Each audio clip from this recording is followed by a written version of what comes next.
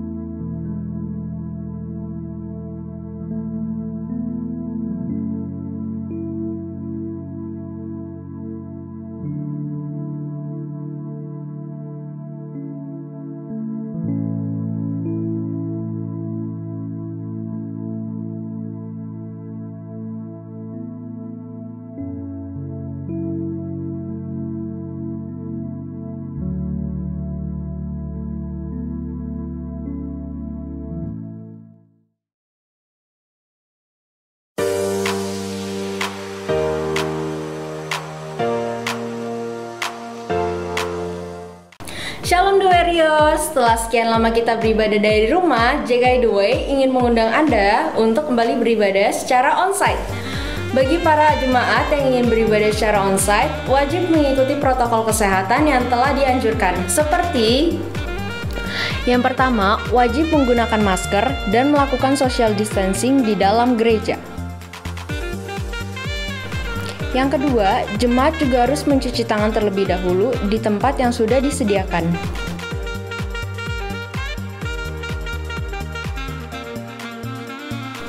Yang ketiga, melewati penyemprotan disinfektan dan melakukan pengecekan suhu tubuh.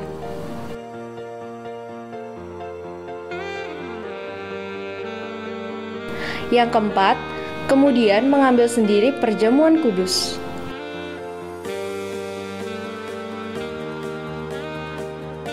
Bagi jemaat onsite, sekarang kita persembahan menggunakan QR barcode untuk mengurangi kontak fisik. Demikian info update dari kami.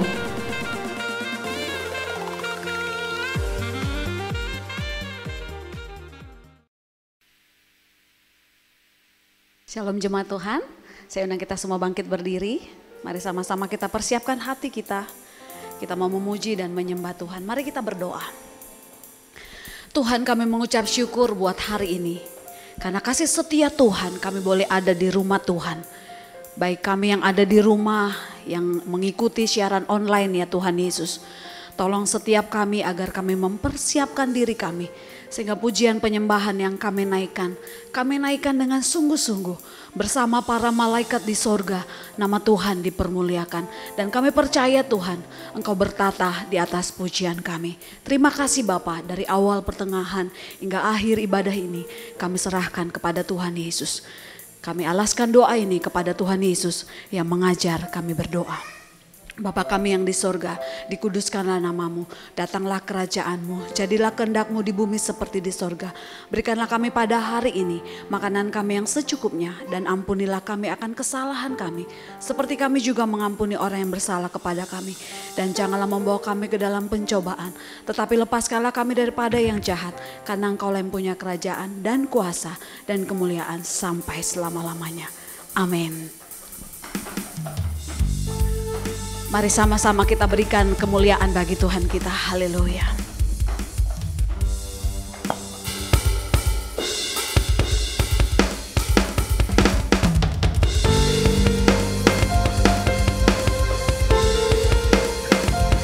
Ini pujian kami pagi ini Tuhan. Ini sembah kami Tuhan.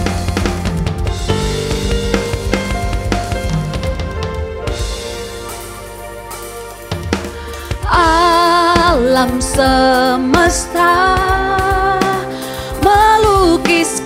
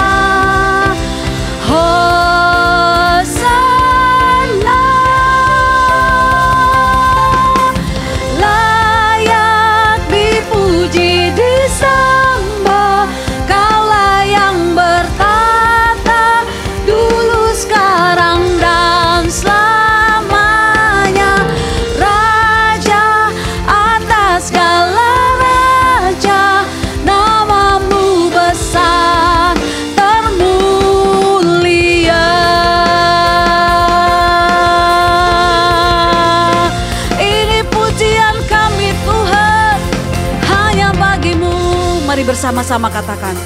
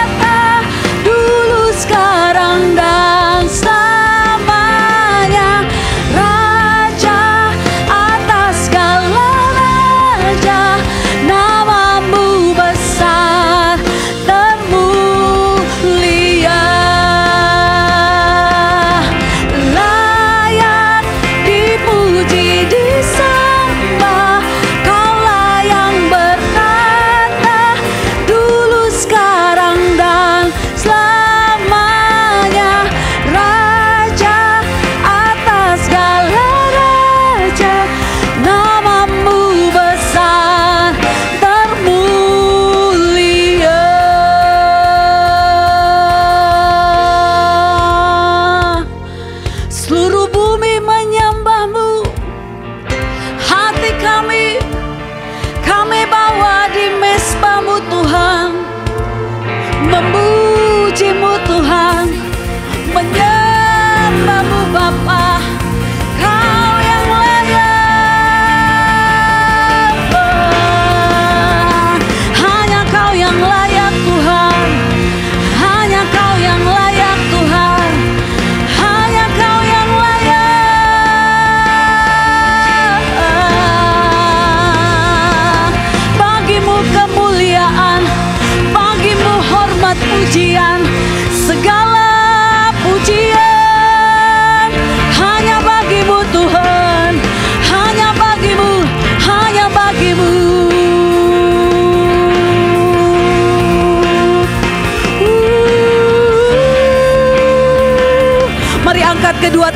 Katakan.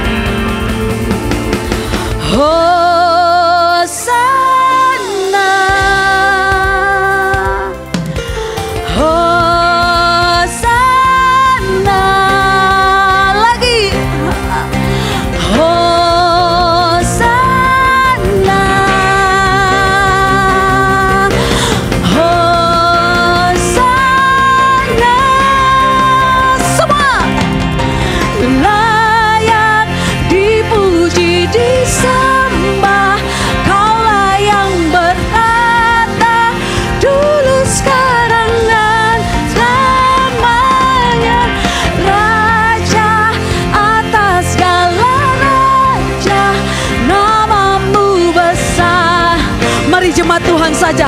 Katakan layak. Layak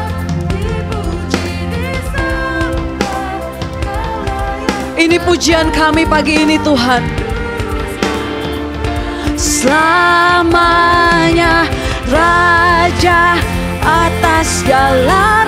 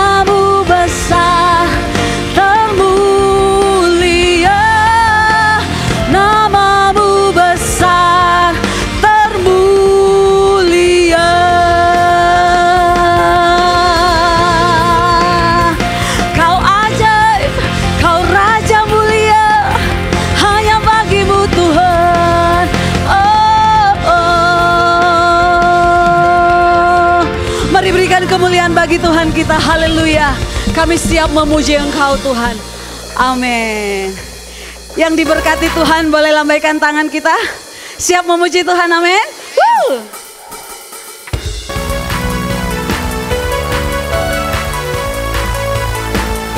Setiap kami adalah orang-orang yang diberkati Tuhan. Nyata bagiku Hikmat kebajikan tersedia bagiku. Sebab Allah sanggup limpahkan segalanya Dan anugerahnya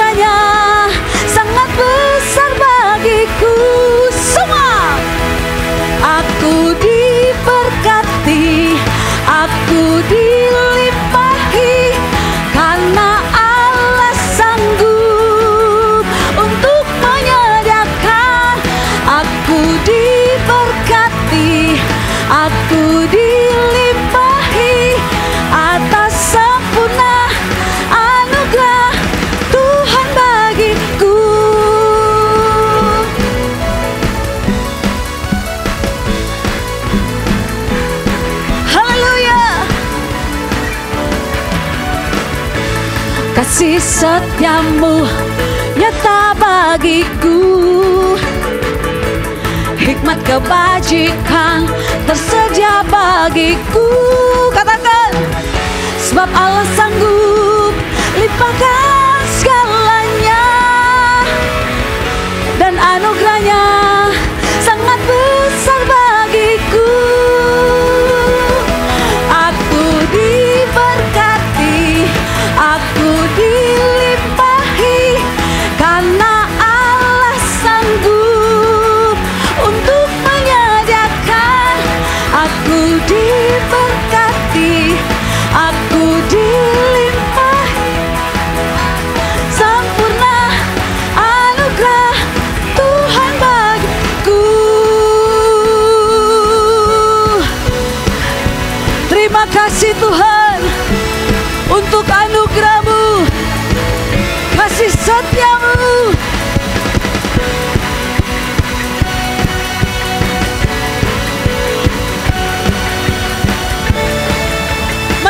Sama-sama ya. Sebab Allah sanggup limpahkan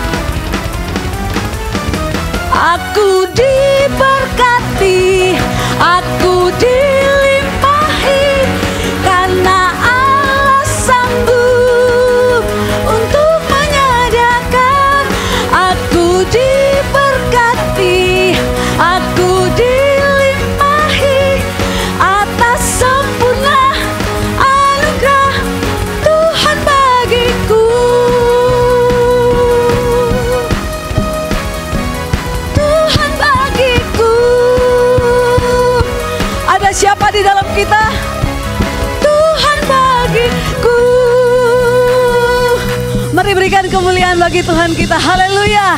Amin. Hidup kita ditentukan oleh firman Tuhan. Amin.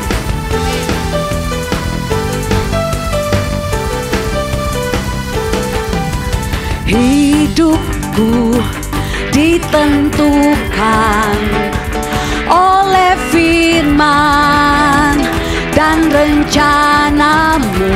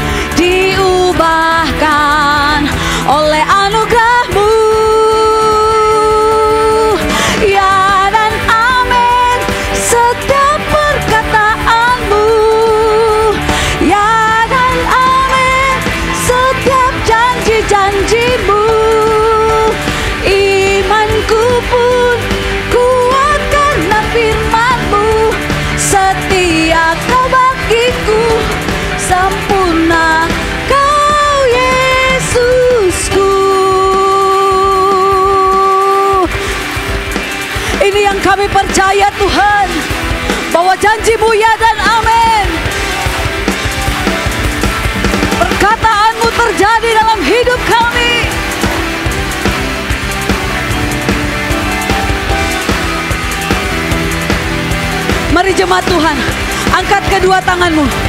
Ya dan amin setiap perkataanmu. Ya dan amin setiap janji-janjimu.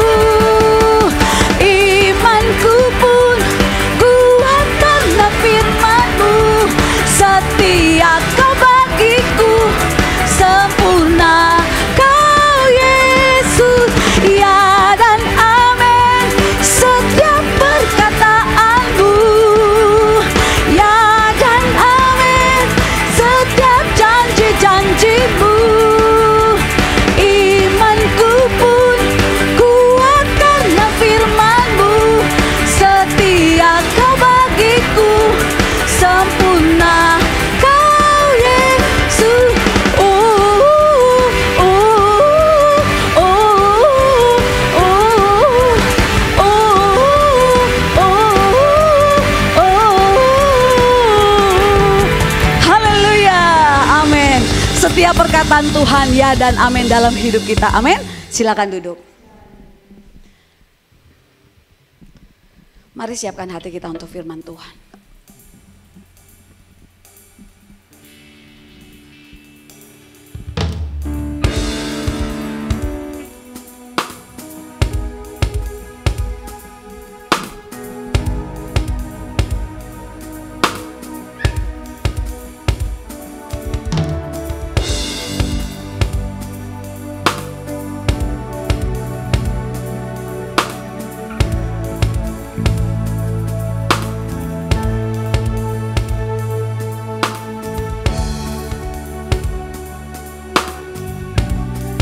Terima kasih Tuhan Yesus. Kami siapkan hati kami Tuhan. Kau hiasi kehidupanku dengan kemurahanmu. Kau rancangkan masa depanku penuh dengan harapan.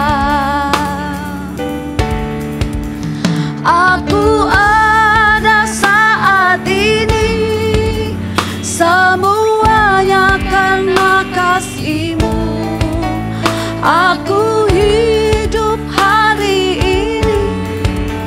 Semua berkat kemurahanmu. Terima kasih Yesus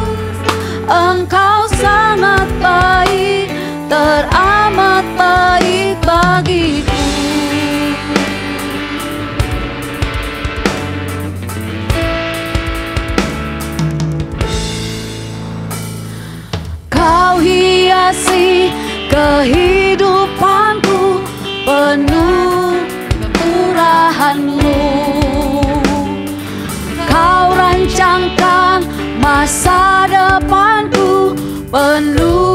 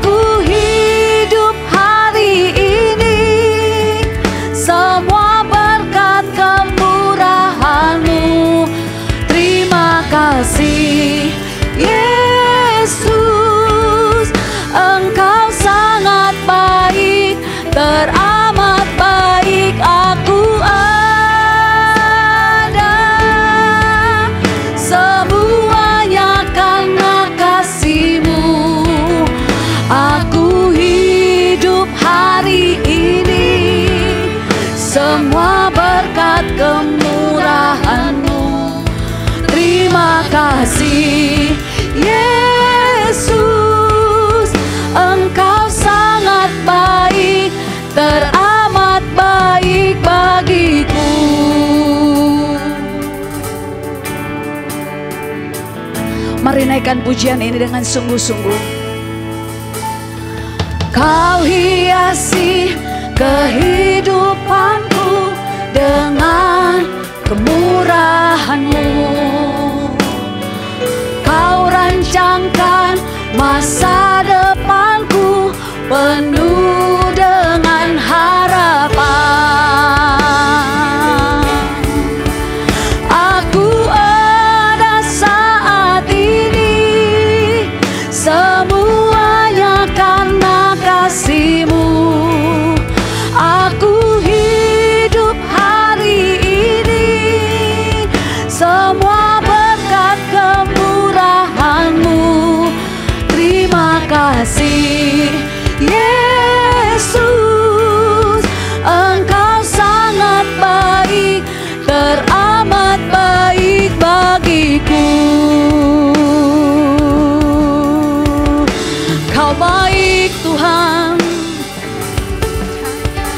Kau baik Tuhan.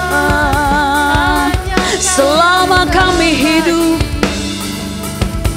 Di dalam melayanimu. Kau baik Tuhan. Saya kita semua bangkit berdiri. Kau baik Tuhan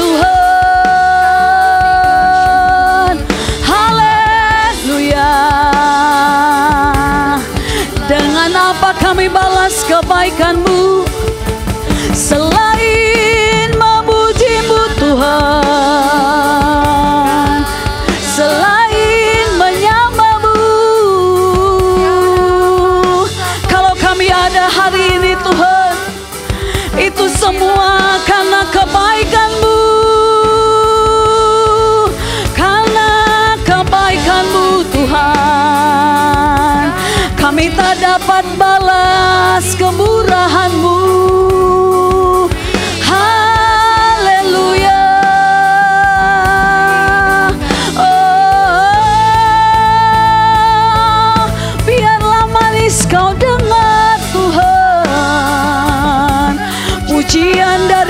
kami yang menaikkan syukur kepadamu.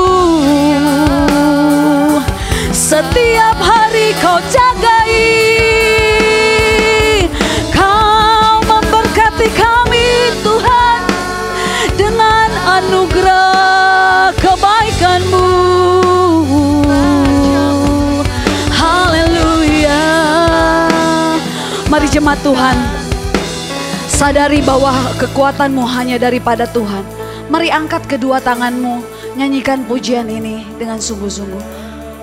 Aku ada saat ini, semuanya karena kasihmu. Aku hidup hari ini, Semua berkat kemurahanmu Terima kasih Yesus Engkau sangat baik Teramat baik bagiku Mengucap syukur Tuhan di hari pertama di minggu ini, di hari minggu kami boleh ada di rumah Tuhan. Lepas beberapa kami ada yang sedang terinfeksi virus COVID-19. Tapi kami belajar untuk senantiasa bersyukur dalam segala hal. Hati yang gembira adalah obat dan kami terus mengandalkan iman kami kepada Tuhan. Kami percaya kami semua bisa melewati badai hidup ini karena rancangan Tuhan atas kami bukan kecelakaan itu janjimu tapi damai sejahtera. Maka berkati kami dengan kebenaranmu Tuhan. Sehingga setiap kami yang beribadah di rumahmu ini baik juga saudara-saudara kami yang beribadah secara online setelah ibadah tidak sama seperti sebelum ibadah. Kami pulang, kami selesai ibadah, semakin punya pengenalan yang benar tentang dirimu, itu lebih dari yang kami harapkan Tuhan. Kami rindu semakin mengenalmu sehingga di sisa hidup kami masing-masing, berapapun usia yang masih Tuhan percayakan kami hidup di bumi ini, kami sepanjang sisa hidup ini bisa menyenangkan Tuhan di atas segala-galanya. Jangan satupun kami yang kau lalui, kami siap diberkati. Haleluya. Amin. Silakan duduk kekasih Tuhan, ada shalom semuanya. Senang bersama dengan semua di tempat ini. Haleluya. Tema saya pada hari Minggu ini sedarah tapi beda sedarah tapi beda. Ini tema termasuk yang saya gumuli apakah cocok apa tidak gitu ya. Dan saya membuat tema ini karena saya melihat banyak orang yang sedarah, sedarah secara jasmani maupun secara iman gitu ya. Tapi beda, beda karakter, beda sikap, sehingga kalau sudah beda, maka output yang dihasilkan juga nggak heran bertolak belakang, saudara.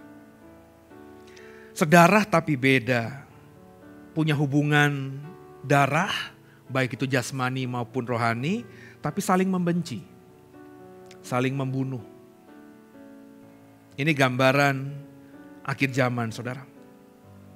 Saya termasuk orang yang apa namanya melihat perkembangan zaman ini. Ya beberapa waktu yang lalu kita ditakutkan akan munculnya perang dunia ketiga ya antara Amerika dan sekutunya dan Rusia dimulai dengan konflik di Ukraina. Tapi kita mendengar kabar kemarin Rusia menarik pasukannya meskipun sedikit tapi ditarik mundur gitu. Agak nafas lega. Saya berpikir wah masih panjang ini ya. mungkin belum saatnya perang dunia. Tapi tadi pagi saya bangun tidur, biasa habis doa bangun tidur buka handphone gitu saudara. Dapat kabar semalam uh, justru Uk Ukraina ya yang menyerang basis wilayah pemberontak. Jadi Rusia kenapa mau menyerang Ukraina karena ada suku tertentu di Ukraina itu yang pro ke Rusia dan memproklamirkan diri ber, apa, merdeka dari Ukraina. Jadi Rusia berkepentingan karena ini pro mereka gitu saudara. Dan tadi pagi saya dapat kabar berarti kejadiannya semalam uh, Ukraina menyerang basis pemberontak ini yang notabene ada di wilayahnya tapi pro Rusia. Kita belum membaca, saya belum membaca lagi update terbarunya apakah Rusia merespon itu. Kalau merespon berarti nanti akan menyerang Ukraina, kalau Ukraina diserang maka Ukraina akan menyerang Rusia juga dan semua sekutu yang ada di wilayah sekitar mereka pasti tidak akan tinggal diam. Udah gitu hari-hari ini ya banyak banget lagi kejadian orang-orang yang saya kenal yang kena COVID, saudara. Ya. Pak Pranal, worship leader kita, bahkan sudah kena kena lagi, saudara. Ini yang saya bilang bahwa kita ini memang gak akan bisa kembali ke masa lalu. Ya. Saya sudah di booster kemarin, ya. tapi tidak akan mengikuti arahan Menteri Luhut yang mengatakan kalau sudah di booster boleh jalan-jalan gitu. Ya saya tetap akan membatasi diri karena ya kita nggak tahu saudara perkembangan uh, apa namanya COVID seperti ini dan saya tidak merasa terbebani, saya tidak merasa terpenjara karena saya memahami kalau saya di booster, saya menjaga diri saya, saya belajar untuk tidak uh, sebebas-bebasnya. Berarti saya memang sedang uh, menggenapi firman Tuhan bahwa kita harus mengasihi sesama kita. Gitu. Ya. Nah, sedarah tapi beda. Saya ingin membagikan sesuatu yang Tuhan taruhkan di hati saya di sepanjang minggu ini. Kita coba buka dulu kejadian pasal 4 saudara. Ayat 17 sampai dengan ayat 24. Ayatnya cukup panjang, izinkan saya membacanya. Saudara boleh memperhatikan ayat-ayat yang ada di layar uh, saudara. Kejadian 4 ayat 17 sampai dengan 24. Kejadian 4 ayat 17 sampai dengan uh, ke-24. Demikian firman Tuhan. Kain bersetubuh dengan istrinya dan mengandunglah perempuan itu lalu melahirkan Henok. Kemudian Kain mendirikan suatu kota dan dinamainya kota itu Henok menurut nama anaknya. Bagi Henok lahirlah Irat dan Irat itu memperanakan Mehuyael dan Mehuyael memperanakan Metusael dan Metusael memperanakan Lamek. Ayat 19. Lamek mengambil istri dua orang yang satu namanya Ada yang lain Zila. Ada itu melahirkan Yabal, dialah yang menjadi bapak orang yang diam dalam kemah dan memelihara ternak. Nama adiknya ialah Yubal, dialah yang menjadi bapak semua orang yang memainkan kecapi dan suling. Zila juga melahirkan anak, yakni Tubal Kain, bapak semua tukang tembaga dan tukang besi. Adik perempuan Tubal Kain ialah Naama. Berkatalah Lame kepada kedua istrinya itu, Ada dan Zila, dengarkanlah suaraku. Hai istri-istri Lamek, Pasanglah telingamu kepada perkataanku ini.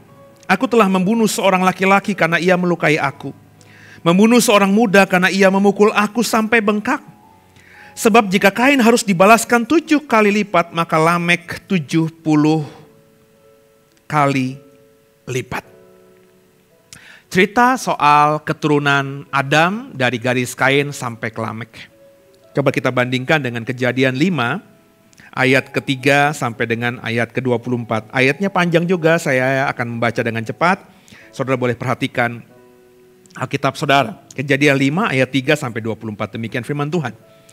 Setelah Adam hidup 130 tahun, ia memperanakan seorang laki-laki menurut rupa dan gambarnya lalu memberi nama Set kepadanya. Umur Adam setelah memperanakan Set 800 tahun dan ia memperanakan anak laki-laki dan perempuan. Jadi Adam mencapai umur 930 tahun lalu ia mati. Setelah Set hidup 105 tahun ia memperanakan Enos. Dan Set masih hidup 807 tahun setelah ia memperanakan Enos dan memperanakan anak-anak laki-laki dan perempuan. Jadi Set mencapai umur 912 tahun lalu ia mati. Setelah Enos hidup 90 tahun ia memperanakan Kenan. Dan Kenan masih hidup 815 tahun setelah ia memperanakan Kenan dan ia memperanakan anak-anak lelaki dan perempuan. Jadi Enos mencapai umur 905 tahun lalu ia mati. Setelah Kenan hidup 70 tahun, ia memperanakan Mahala, Mahala Leel. Dan, kan, dan Kenan masih hidup 840 tahun setelah ia memperanakan Mahala Leel. Dan ia memperanakan anak-anak laki-laki dan perempuan. Jadi Kenan mencapai umur 910 tahun lalu ia mati. Setelah Mahala Leel hidup 65 tahun, ia memperanakan Yaret. Dan Mahala Leel masih hidup 830 tahun setelah ia memperanakan Yaret. Dan ia memperanakan anak-anak lelaki dan perempuan. Jadi Mahalaleel mencapai umur 895 tahun lalu ia mati. Setelah Yaret hidup 162 tahun ia memperanakan Henok. Dan Yaret masih hidup 800 tahun setelah ia memperanakan Henok dan ia memperanakan anak-anak lelaki dan perempuan. Jadi Yaret mencapai umur 962 tahun lalu ia mati. Setelah Henok hidup 65 tahun ia memperanakan Metusalah dan Henok hidup bergaul dengan Allah selama 300 tahun lagi. Setelah ia memperanakan Metusala dan ia memperanakan anak-anak lelaki dan perempuan. Jadi Henok mencapai umur 365 tahun dan Henok hidup bergaul dengan Allah. Lalu ia tidak ada lagi sebab ia telah diangkat oleh Allah. Agak boring kita kalau baca tahunnya berapa. Boring kalau saya boring ditambah, ditambah agak kesel gitu karena umurnya kok ratusan tahun gitu ya. Sedangkan kita eh, nggak mungkin sampai ke sana gitu saudara ya. Kenapa orang-orang zaman dulu bisa ratusan tahun, 800, 900-an tahun, kita kata Mas Murusa 70, 80 tahun gitu ya. Tapi yang saya mau katakan, kita tadi sudah membaca garis keturunan Adam dari Kain dan Set. Coba dimunculkan bagannya saudara. Kita lihat bagan ini ya, bagan yang saya minta untuk dibuat ya dari garis Adam, saudara. Kalau yang di sebelah uh, apa namanya kiri ya itu Kain dan Set di sebelah uh, kanan gitu ya. Uh, dari Kain anak anaknya Henok, anaknya Irat, Irat kemudian Mehuyael, Metusael dan Lamek. Sedangkan Set itu garisnya ke bawah Enos, Kenan, Mahalaleel, Yaret dan Henok. Ya, ada dua nama Henok baik uh, dari sisi garis keturunan Kain dan Set, tapi ini dua figur, dua pribadi yang berbeda. Yang saya mau katakan, dari Adam, dari garis bagan ini sampai ke Lamek dan Henok itu ada tujuh keturunan. Jadi ada tujuh generasi. Adam, Kain dan Set, Henok dan Enos, Irat dan Kenan, Mehuyael dan Mahalaleel, Metusael dan Yaret, Lamek dan Henok. Ada tujuh. Kekasih Tuhan biji mata Tuhan, kenapa saya mau bagikan ini kepada saudara? Saya melihat bahwa apa yang akan kita rasakan dan kita hidupi di tahun-tahun ke depan ini akan kembali. Saya selalu mengatakan, sejarah selalu berulang di banyak tempat, saudara, di mimbar ini, di kelas kalau saya mengajar, saya selalu mengatakan penting seseorang supaya menjadi orang yang bijaksana itu belajar dari sejarah. Kenapa? Karena sejarah selalu berulang. Selalu Bapak Ibu. Enggak pernah enggak. Jadi kalau kita belajar sejarah, ya, saya berandai-andai kalau saya misalnya menghabiskan sepersepuluh hidup saya saja dengan membaca atau belajar sejarah masa lalu, maka saya pasti akan jadi orang yang jauh lebih bijak. Saudara. Ya. Saya suka belajar sejarah kebetulan. Saya suka belajar atau membaca biografi tokoh-tokoh tertentu. Di sepanjang akhir tahun kemarin saya belajar tentang raja-raja Jawa, saudara. Ya. Entah kenapa Tuhan arahkan ke situ dan saya mengagumi figur-figur orang-orang yang dicatat sejarah Indonesia sebagai raja-raja Jawa yang lahir atau bertahta di sekitar tahun 13, 14, 1300, 1400 di zaman yang bahkan company atau VOC belum masuk ke tanah uh, Nusantara ini. Dari sana kita bisa belajar. Saya tidak tahu apakah sejarah yang saya baca itu valid atau tidak. Bukan itu isunya. Sebab kalau bicara mengenai sejarah yang terjadi tahun 1300, 1400, siapa yang bisa menjamin bahwa yang kita baca itu meskipun itu adalah tulisan katanya dari empu-empu yang terdahulu, itu valid apa tidak? Kita tidak tahu. Tapi paling tidak dari sejarah itu kita bisa temukan mutiara-mutiara uh, kebenaran begitu. Kebenaran maksudnya kita belajar dari salahnya orang dan benarnya orang, saudara. Dan kejadian pasal 4, pasal 5 ini bicara mengenai dunia yang sedang bertumbuh saat itu. Ya. Saya nggak tahu, saya mau tanya nanti sama sama tim multimedia saya gitu ya. Saya sempat buat program. Ya kita dulu pernah di Bible Talk ngobrol sama Pak Wijaya sama Pak Amos kalau tidak salah tentang apakah uh, ada manusia-manusia lain selain Adam dan keturunannya gitu ya. Dan hmm, saya uh, punya pandangan yang berbeda dengan uh, apa namanya uh, Pak Wijaya dan Pak Amos ya, cuman di dalam Bible Talk tidak saya suarakan gitu ya karena itu butuh apa ya, butuh penjelasan yang panjang sedangkan program itu hanya disetting kurang lebih satu jam dan bukan itu isunya gitu. Jadi saya bikin program baru nanti mungkin kalau sudah yang Pak Wijaya sama Pak Amos boleh di dikoreksi ya. Di tempat kita ini di The Way bagi saya berbeda pandangan teologi is okay. Apalagi cuma berbeda tafsir saudara ya. Dan saya mengatakan bahwa di zaman ini, ini peradaban. Ya, biar bagaimanapun, entah itu Adam benar-benar manusia pertama atau manusia pertama dalam Tuhan yang diciptakan Tuhan segambar serupa dengan Tuhan.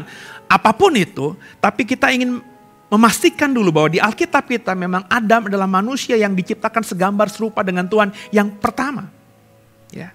Berarti ketika punya anak Kain, kemudian punya anak Habel dan Set, kemudian turun tujuh turunan ke bawah, ini masih dunia yang sangat-sangat awal.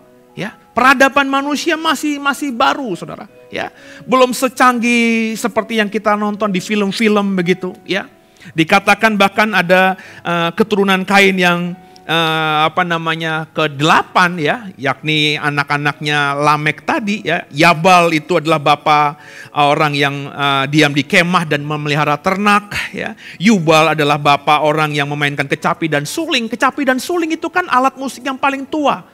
Bapak Ibu boleh browsing di dalam internet ya, cari alat musik tertua ya, memang seruling dan kecapi, alat-alat petik yang sederhana, yang cuma dari kayu, kemudian dari uh, bulu binatang atau dari apa gitu bisa membunyi, bisa dimainkan musik. Dan dikatakan di Alkitab bahwa Yubal adalah bapak dari semua orang yang memainkan kecapi dan suling. Jadi ini masih peradaban yang sangat awal sekali. Saudara, Kain anak pertama, Habel mati, dibunuh Kain, kemudian Set yang kita baca dibandingkan dalam bagian ini. Ya. Adam, Kain, dan Set. Jadi sama-sama keturunan yang ketujuh dari garis Kain dan Set, Lamek dan Henok.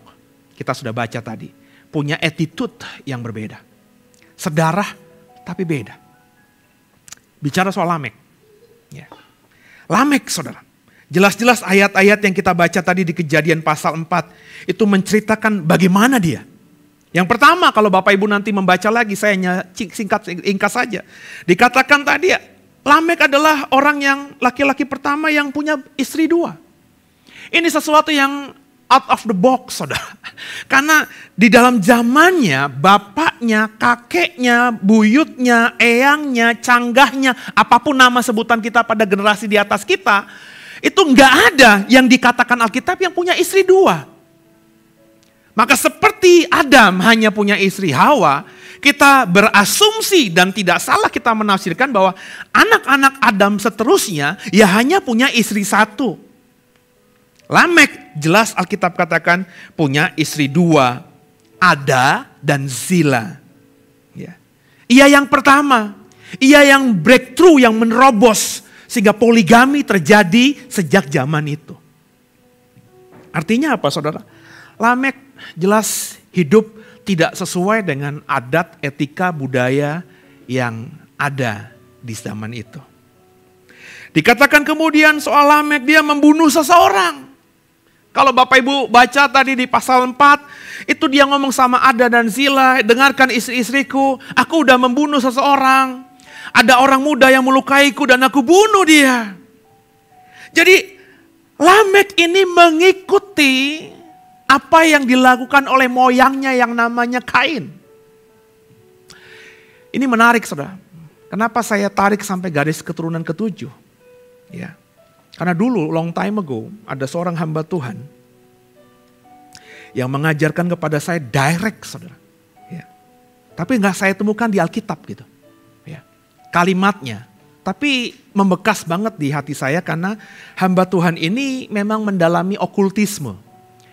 Jadi dia lebih banyak praktek pelayanan, pengusiran setan, pelepasan kutuk dan lain sebagainya. Meskipun mungkin secara teologi ya dia tidak kuat. Tapi dia expert di situ. Saya melihat banyak buah yang dia kerjakan, buah pelayanannya. So saya yang saat itu sedang belajar S2 teologi, saya nggak berani menghakimi hamba Tuhan yang senior ini. Karena kalau ngomongin teologi ya jelas dia jauh di bawah saya. Ngomongin teologi ya, debat teologi ya, tafsir dan lain sebagainya. Tapi karena usia beliau juga sudah punya pengalaman dan saya akhirnya melihat bahwa apa yang dia kerjakan beliau itu memang benar-benar jadi berkat bagi banyak orang. Beliau mengatakan begini kepada saya.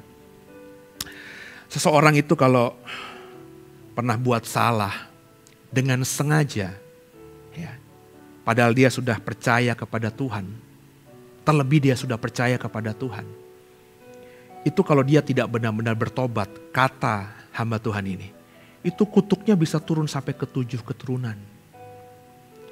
Saya cuma dengar saja, saya masukin di hati, saya tidak debat karena saya menghormati hamba Tuhan yang sudah senior ini. Sekarang sudah tidak ada, sudah meninggal. Sudah. Tapi pelayanannya luar biasa. Saya diam saja, terus saya coba cari, saya kulik. Ada nggak kutuk sampai tujuh turunan itu di Alkitab yang direct kalimatnya? ya bahwa dosa itu bisa turun sampai tujuh keturunan. Saya nggak nemu, saudara. Maka itu cuma membekas tapi tidak pernah saya ajarkan. Ya, baru kemudian bertahun-tahun kemudian dan saya bagikan kepada saudara hari ini. Seingat saya, saya juga belum sempat menyinggung soal ini dalam tujuh tahun saya mengembalakan di dua ini. Karena banyak saudara lebih memahami saya sebagai seorang yang mendalami akhir zaman daripada seseorang yang mendalami okultisme. Ya, padahal di awal pelayanan saya, saya berkecimpung banyak sekali dalam bidang okultisme, pengusiran setan, penumpangan tangan, ya, pengurapan, ya, pokok bermain dengan dunia roh itu mainan saya di awal-awal pelayanan saya, saudara. Ya. Cuma saya memang merasa akhirnya saya harus memilih, sebab kalau saya terus bermain dalam pelayanan okultisme, maka saya akan jadi orang yang nyentrik dan saya melihat orang-orang yang melayani Tuhan dalam bidang pelayanan pelepasan okultisme ini memang nyentrik-nyentrik dan saya nggak mau nyentrik saudara. Saya akhirnya bergening sama Tuhan. Tuhan kalau boleh saya tidak bermain di sini lagi ya. Tidak melayani terlalu dalam dalam okultisme ya. ya. Satu sisi banyak orang yang dipakai Tuhan luar biasa dalam pengusiran setan. Tapi saya melihat kok jadi aneh gitu, jadi freak gitu. Saya nggak mau seperti itu. Saya mau jadi guru aja, saya jadi mau mengajar saja. Maka saya akhirnya mulai pelan-pelan uh, tinggalkan pelayanan seperti itu dan apa namanya mengerjakan apa yang Tuhan taruhkan di hati saya. Tapi pengalaman di masa lalu ada tiga tahun saya bergelut dalam okultisme secara praktis. Saya terus membekas.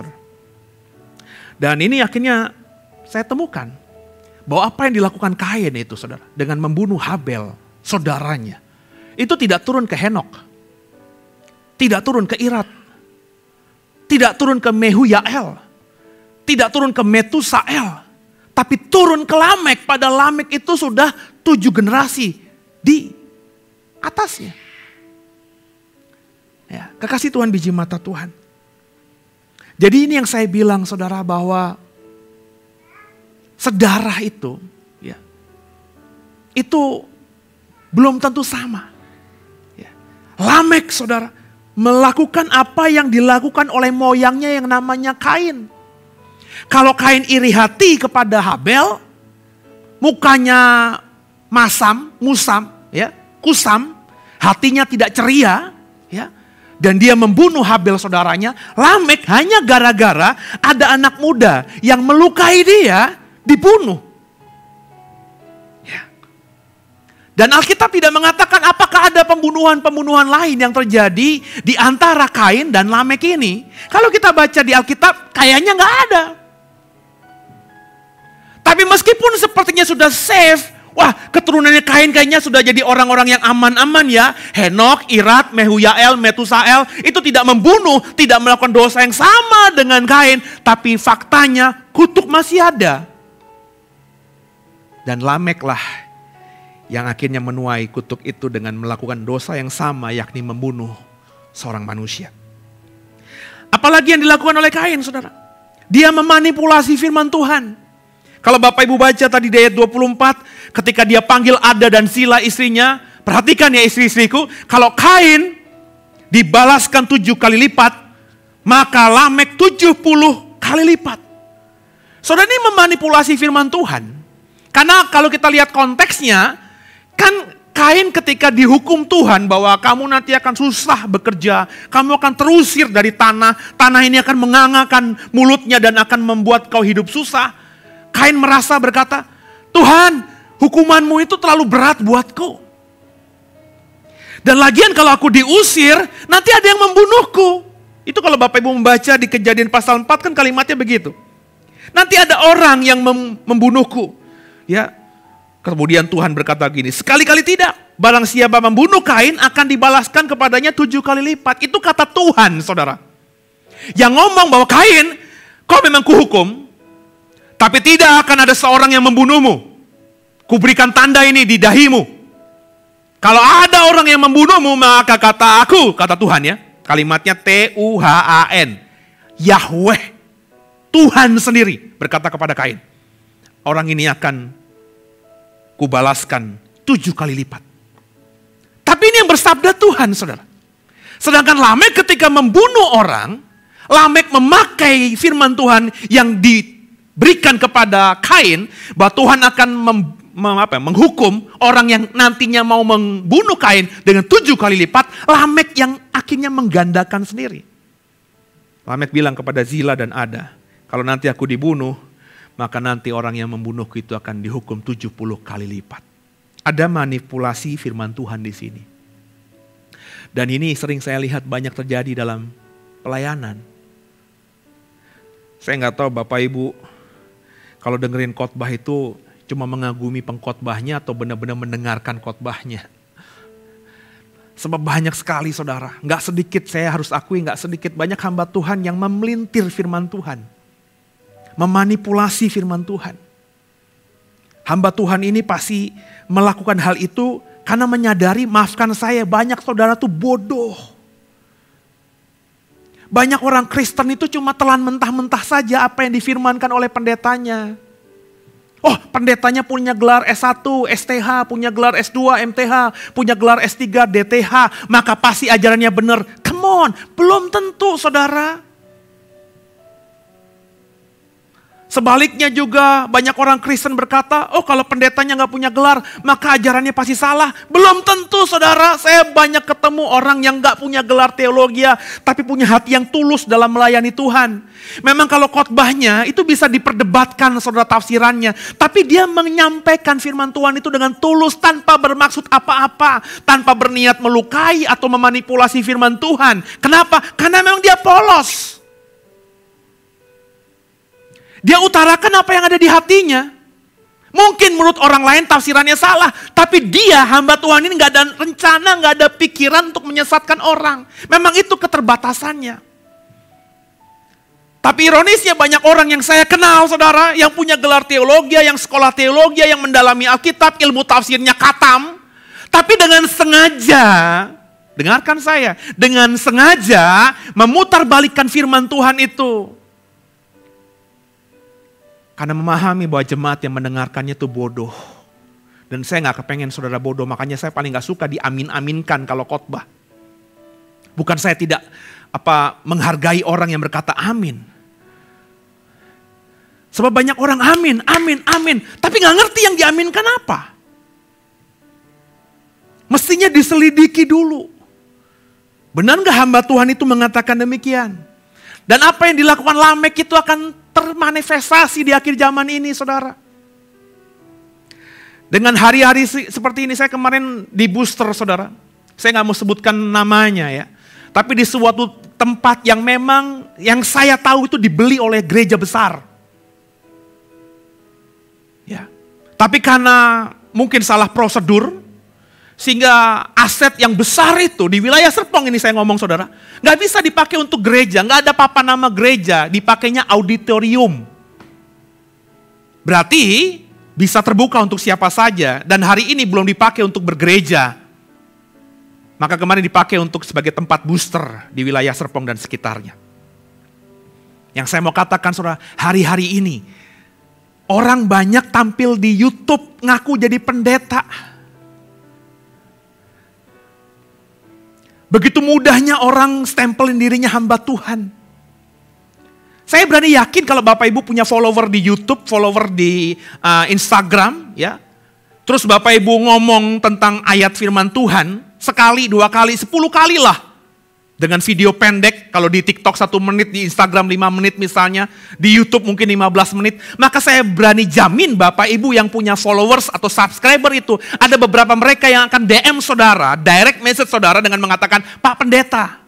Maka orang ini akan jadi pendeta, karena dipanggil pendeta oleh orang lain. Kekasih Tuhan, biji mata Tuhan. Banyak orang akan memanipulasi firman Tuhan. Makanya Bapak Ibu, jangan jadi orang Kristen yang bodoh. Saya berkali-kali bilang ini Alkitab harus dibaca. Pak Sepi saya udah punya gelar MTH. Eh saya mau ngomong ya. Ada banyak orang MTH, STH, DTH tapi makanannya juga bukan Alkitab. Saya tuh masuk ke banyak WhatsApp grup Bapak Ibu yang di me, apa diadminkan oleh hamba-hamba Tuhan. Tapi kalau saya saya mau keluar tuh nggak enak gitu loh. Tapi sebenarnya saya udah muak di WhatsApp grup itu. Makanya kalau WhatsApp grupnya itu lingkungan doe, saya bilang saya keluar aja lah. Ya, karena saya masih punya siapa yang berani ngutak-atik gue kalau di doe gitu. Tapi kalau diundang oleh orang lain, hamba Tuhan yang punya nama di dalam satu WhatsApp grup, terus saya keluar itu saya tidak menghormati. Tapi saya muak dengan di jadi member di situ. Kenapa? Ada hamba Tuhan uh, saling berdebat, kusir, ya, dengan hamba Tuhan lain di dalam WhatsApp grup itu. Yang bagi saya secara etika nggak baik, saudara. Kalau berdebat bukan masalah, saya silahkan loh Bapak Ibu berdebat. Bapak Ibu nggak suka sama saya, saudara mendebat saya, silahkan. Tapi jangan dalam forum yang terbuka dong. Kecuali memang kau sengaja mau mempertontonkan kehebatan teologiamu. Untuk diadu dengan teologi hamba Tuhan lain. Dan dia juga setuju.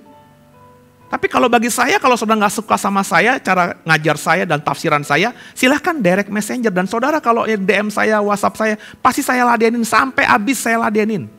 Tapi kalau di WhatsApp grup, saya nggak pernah mau ngeladenin orang, saudara. Jadi akar pahit, jadi batu sandungan. Dan saya nggak kepengen saudara yang mendengarkan saya termanipulasi oleh banyak orang yang memanipulasi firman Tuhan. Itu lamek saudara. Poligami. Sesuatu yang gak pernah ada di keturunan di atasnya dia lakukan. Dosa. Memang awalnya saudara bisa mengklaim itu kan gak dosa pak. Zaman itu kan belum ada uh, larangan untuk berpoligami atau beristri dua atau bersuami dua. Oh iya memang belum ada aturannya. Tapi kalau kita merujuk pada sampai akhirnya nanti. di mana Tuhan berkata kalau sudah dipersatukan Tuhan tidak bisa diceraikan manusia. Bukankah itu penegasan akhirnya firman Tuhan mengatakan bahwa ya kalau mau menikah sekali untuk selamanya. Seperti yang dicontohkan Tuhan ketika menikahkan Adam dan Hawa. Lamek melakukan poligami. Yang kedua, membunuh seseorang. Dosa yang selama beberapa generasi di atas gak dilakukan lagi, ternyata dilakukan oleh Lamek. Persis sama seperti Kain. Yang sakit hati. Lamek terluka karena dipukul orang pengakuan dia. Sehingga dia membunuh orang itu. Dan memanipulasi firman Tuhan. Lamek adalah gambaran orang yang hidup semakin jauh dari Tuhan. Kemudian generasi di garisnya Set. Yang ketujuh adalah Henok saudara. Saya nggak mau panjang lebar soal Henok karena ayatnya juga nggak panjang. Henok dikatakan hidup bergaul dengan Allah. Dia 65 tahun bergaul dengan Allah, kemudian dia punya anak Metusalah, dan dia selama 300 tahun lagi hidup bergaul dengan Allah. Kemudian ditutup oleh ayat, Henok hidup bergaul dengan Allah, kemudian Tuhan angkat dia. Jadi artinya 365 tahun umurnya Henok Alkitab saya mengatakan dia bergaul erat dengan Tuhan. 365 itu kan bukannya gambaran satu tahun 365 hari. Saya nggak tahu apakah ini ilmu gatok-gatokan atau tidak, saudara. Tapi saya cuma menyiratkan saja. Ini ada sesuatu yang menarik di sini. Kenapa Henok digambarkan berusia 365 tahun. Dan dikatakan oleh Alkitab sepanjang umur itulah dia bergaul erat dengan Tuhan. Dan akhirnya ia diangkat oleh Tuhan. Henok adalah gambaran orang yang dekat dengan Tuhan. So, generasi ketujuh dari Adam, dari garis Kain dan Set, Lamek dan Henok, ini adalah kontradiksi. Lamek gambaran orang yang hidupnya semakin jauh dari Tuhan, sedangkan Henok dari garis set adalah gambaran orang yang hidupnya bergaul erat dengan Tuhan. Menariknya di sini, kok bisa ya? Bapak Ibu jangan pakai asumsi, pakai imajinasi. Oh bisa saja Pak, karena budayanya berbeda, lingkungannya berbeda, masyarakatnya berbeda. Come on man, come on. Lu baca Alkitab apa tidak? Sampai menara Babel di kejadian 11, manusia itu hidupnya masih bergerombol. Belum diaspora. Ini kita masih ngomong di kejadian pasal 4 dan pasal 5. Menara Babel itu kejadian pasal 11. Berarti asumsinya apa? Tafsiran sederhananya apa? Baik Lamek maupun Henok. Karena sama-sama keturunan ketujuh dari Adam. Usianya mungkin tua Lamek. Mungkin tua Henok. Tapi mereka hidup sejaman. Ingat orang-orang zaman dulu hidupnya ratusan tahun. Bahkan saya pernah khotbah kan. Saya berani jamin. Saya pernah hitung-hitungan. Nuh itu saudara. Nuh yang diberikan Tuhan kasih karunia sehingga dia dan keluarganya diselamatkan dari air bah itu. Dia bahkan sempat bertemu atau bicara atau mendengarkan kakek buyutnya yang namanya Set yang notabene anaknya Adam. Karena saya ukur-ukur, saya pernah hitung-hitung. Set itu sampai matinya. Berarti Nuh sudah hidup.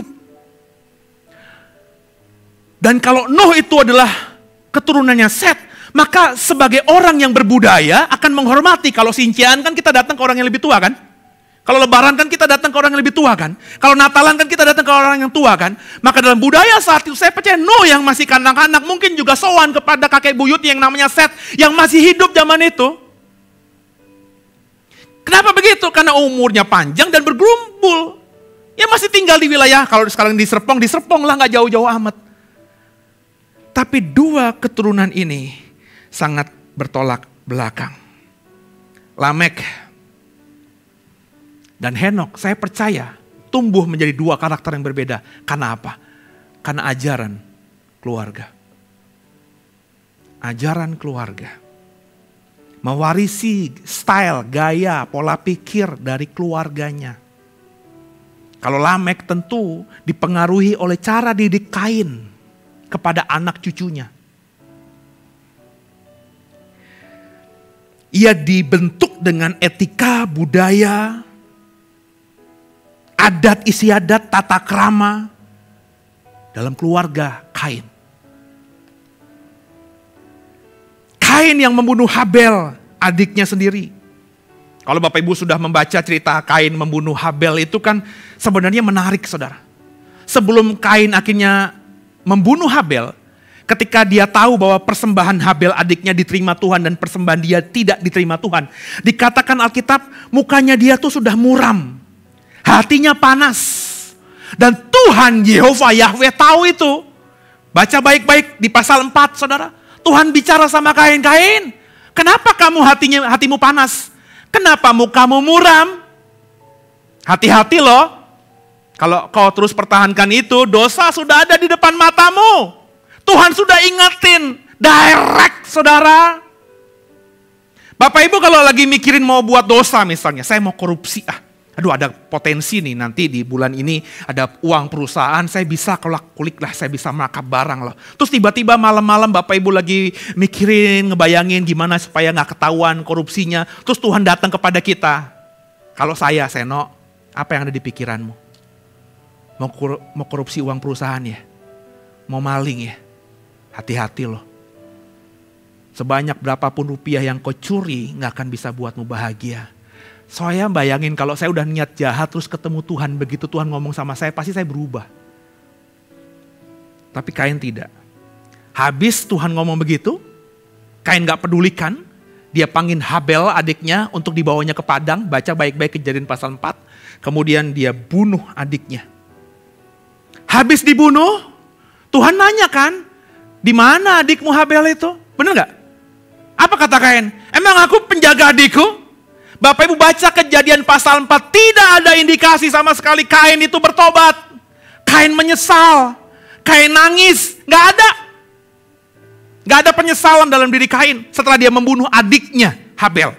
Adiknya loh saudara, sedarah loh saudara, hidup sama-sama dengan dia di dalam lingkungan yang sama. Sudah nggak ada penyesalan kalau kau baca kejadian 4 ayat 16, Kain malah pergi dari hadapan Tuhan. untuk tinggal di daerah yang namanya tanah Not. Kalau kau baca ayat 17 yang sudah kita baca tadi, ketika Kain punya anak Henok, maka dia mendirikan kota baru yang namanya Henok sesuai nama anaknya. Dia bukannya kembali kepada Tuhan, dia bukannya mendekat kembali kepada Tuhan yang mungkin masih ada di sekitar Taman Eden. Meskipun Bapak Ibu Adam dan Hawa sudah diusir sama Tuhan. Tapi Alkitab saya tidak mengatakan Adam dan Hawa itu jauh-jauh dari Taman Eden. Jadi kalau kita baca kronologisnya, ya, Adam dan Hawa habis makan buah pengetahuan baik dan jahat itu diusir dari Taman Eden. Kemudian Tuhan menempatkan kerub di wilayah timur. Berarti logikanya Adam dan Hawa ketika keluar Taman Eden, dia mereka berdua mengarahkan langkah kakinya ke mana? Ke timur bukan ke barat. Jadi kalau Bapak Ibu lihat peta, Taman Eden itu diperkirakan ada di sekitar semenanjung uh, Irak Iran saat ini. Ya, wilayah timur itu ya berarti masih wilayah Irak Iran. Atau kalau mau paling jauh ditarik garis lurus tuh kalau nggak ke Cina ke India. Tapi saya yakin nggak sampai ke sana, masih dekat-dekat Taman Eden. Kain tahu pasti, meskipun dia anak yang dilahirkan di luar Taman Eden, dan Taman Eden tidak bisa dimasuki karena dijaga kerup, tapi paling tidak Adam dan Hawa, mama papanya pernah bilang, tempat kami dulu berjalan bersama dengan Tuhan, Tuhan setiap hari sejuk itu jalan-jalan di tengah Taman Eden, bicara sama kami itu gak jauh dari sini nak. Cuma papa mama gak bisa ke sana, entah kenapa. Pasti ada cerita itu ke Kain. Mestinya kalau Kain menyesal, Kain akan berusaha mencari ke arah barat. Berusaha mencari Tuhan. Teriaknya Tuhan di mana kau? Tapi enggak, dia malah mendirikan kota sendiri. Seolah-olah dia ingin berkata, kalau saya membaca ini, saya membayangkannya kain ingin berkata kepada orang tuanya, kepada orang-orang zaman itu, aku tanpa Tuhan bisa kok. Taman Edennya papa dan mama dulu, aku bisa buat kok. Kan kuberi nama ini Henok, kota Henok. Kasih Tuhan, padahal kalau kita membaca, kain itu adalah mimpi dari Hawa. Coba kita buka satu ayat yuk, pasal 4 ayat 1 kejadian. Arti nama Kain itu sebenarnya bagus, saudara. Yuk kita baca ya, tiga satu ya. Kemudian manusia itu bersetubuh dengan Hawa. Maksudnya Adam bersetubuh dengan Hawa sebagai suami istri. Dan mengandunglah perempuan itu lalu melahirkan Kain. Maka kata perempuan itu, aku telah mendapat seorang anak laki-laki dengan pertolongan Tuhan. Artinya, ya Kain itu kalau kita bahasakan pengertiannya apa? Pertolongan Tuhan. Kenapa dikasih nama Kain? Karena Hawa berkata, aku bisa dapat anak laki-laki karena pertolongan Tuhan. Dan kalau kita tarik garis ke belakang, bukankah Hawa ketika memberi nama anaknya sebagai pertolongan Tuhan, itu berdoa dan berharap agar anakku inilah nanti yang akan menggenapi janji Tuhan atasku. Ketika Hawa, Adam, ular dihukum Tuhan, Tuhan secara direct ngomong kepada Hawa bahwa nanti keturunanmu akan ada yang meremukkan kepala ular yang sudah membuatmu berdosa. Ada pengharapan, keturunanku siapa? Maka ketika Hawa mengandung, dia pasti dalam hatinya bilang, ini pasti yang nanti akan meremukkan si ular itu. Makanya ketika anak pertamanya ini lahir diberi nama, ini pertolongan Tuhan.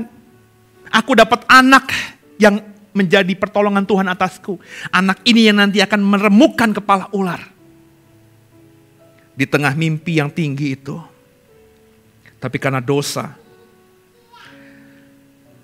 maka semuanya bisa berubah dengan cepat seperti membalikkan telapak tangan. Kain akhirnya hidup dengan kepahitan karena ada dosa yang diwarisi dari bapak dan ibunya. Kepahitannya terhadap Habel diekspresikannya dengan tindakan membunuh Habel. Kepahitan itu tidak dibereskan, gak ada penyesalan di sini. Baik-baik baca, gak ada penyesalan. Maka itu terus membekas. Seperti orang banyak tuh bilang begini, lu udah maafin belum? Udah. Ah yang bener udah maafin. Ya udahlah pak nanti lupa sendiri. Nah itu tuh. Orang menganggap satu ada problem dalam hidupnya, nggak mau beresin, terus berpikir nanti berjalannya waktu akan lupa sendiri.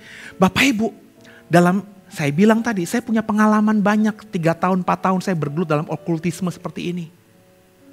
Orang tuh kalau nggak benar-benar mengekspresikan permintaan maaf atau saya memaafkanmu, saya minta maaf ya, tidak bertobat sungguh sama Tuhan. Meskipun dia tidak lagi terluka dengan orang itu, tapi itu masih ada di sini nih.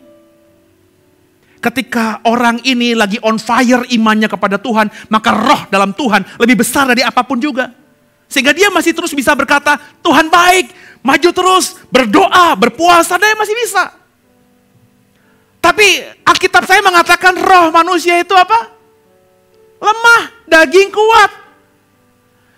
Nggak usah ngomongin saudara lah, ngomongin saya. Saya juga ada up and down-nya saudara.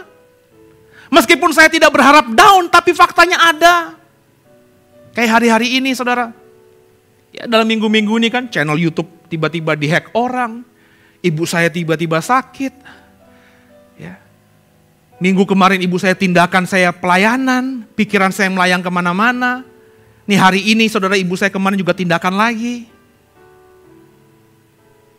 Kan ada, nggak mungkin saya dalam situasi yang seperti ini perasaan saya lagi kalut, ibu saya tinggal seorang saudara. Saya nggak punya orang tua lagi, udah tua juga. Nggak mungkin saya sejahat-jahatnya saya sama orang tua. Nggak mungkin saya bisa anggap itu ringan aja. Ada ber, bergejolak itu di hati Antara mau layanin ibu, nemenin dia, atau harus terus melayani Tuhan. Dilema seperti ini pasti ada. Dan ketika roh kita lemah, daging kita kuat, maka roh Tuhan menjauh karena kita yang mengusir dia secara halus. Dan apa yang kita sembunyikan di dalam hati yang disebut akar pahit, sakit hati, one day pasti akan meledak.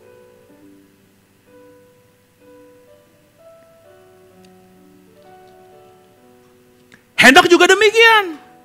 Henok ini tumbuh juga secara adat budaya dari keluarganya. Keluarga siapa? Bapak ibunya Set. Bapak ibu tahu nggak Set itu apa? Coba kita buka saudara yuk. Ini menarik saudara. Kita buka Set saudara. Dalam kejadian apa namanya uh, pasal yang kelima ayat yang ketiga. Menarik saudara kalimat ini. Kejadian 5 ayat 3 bersama saya. 3 satu ya. Setelah Adam hidup 130 tahun, ia memperanakan seorang laki-laki menurut rupa dan gambarnya, lalu memberi nama Set kepadanya. Ada kalimat dalam bahasa Indonesia, terjemahan Lembaga Alkitab Indonesia, rupa dan gambarnya.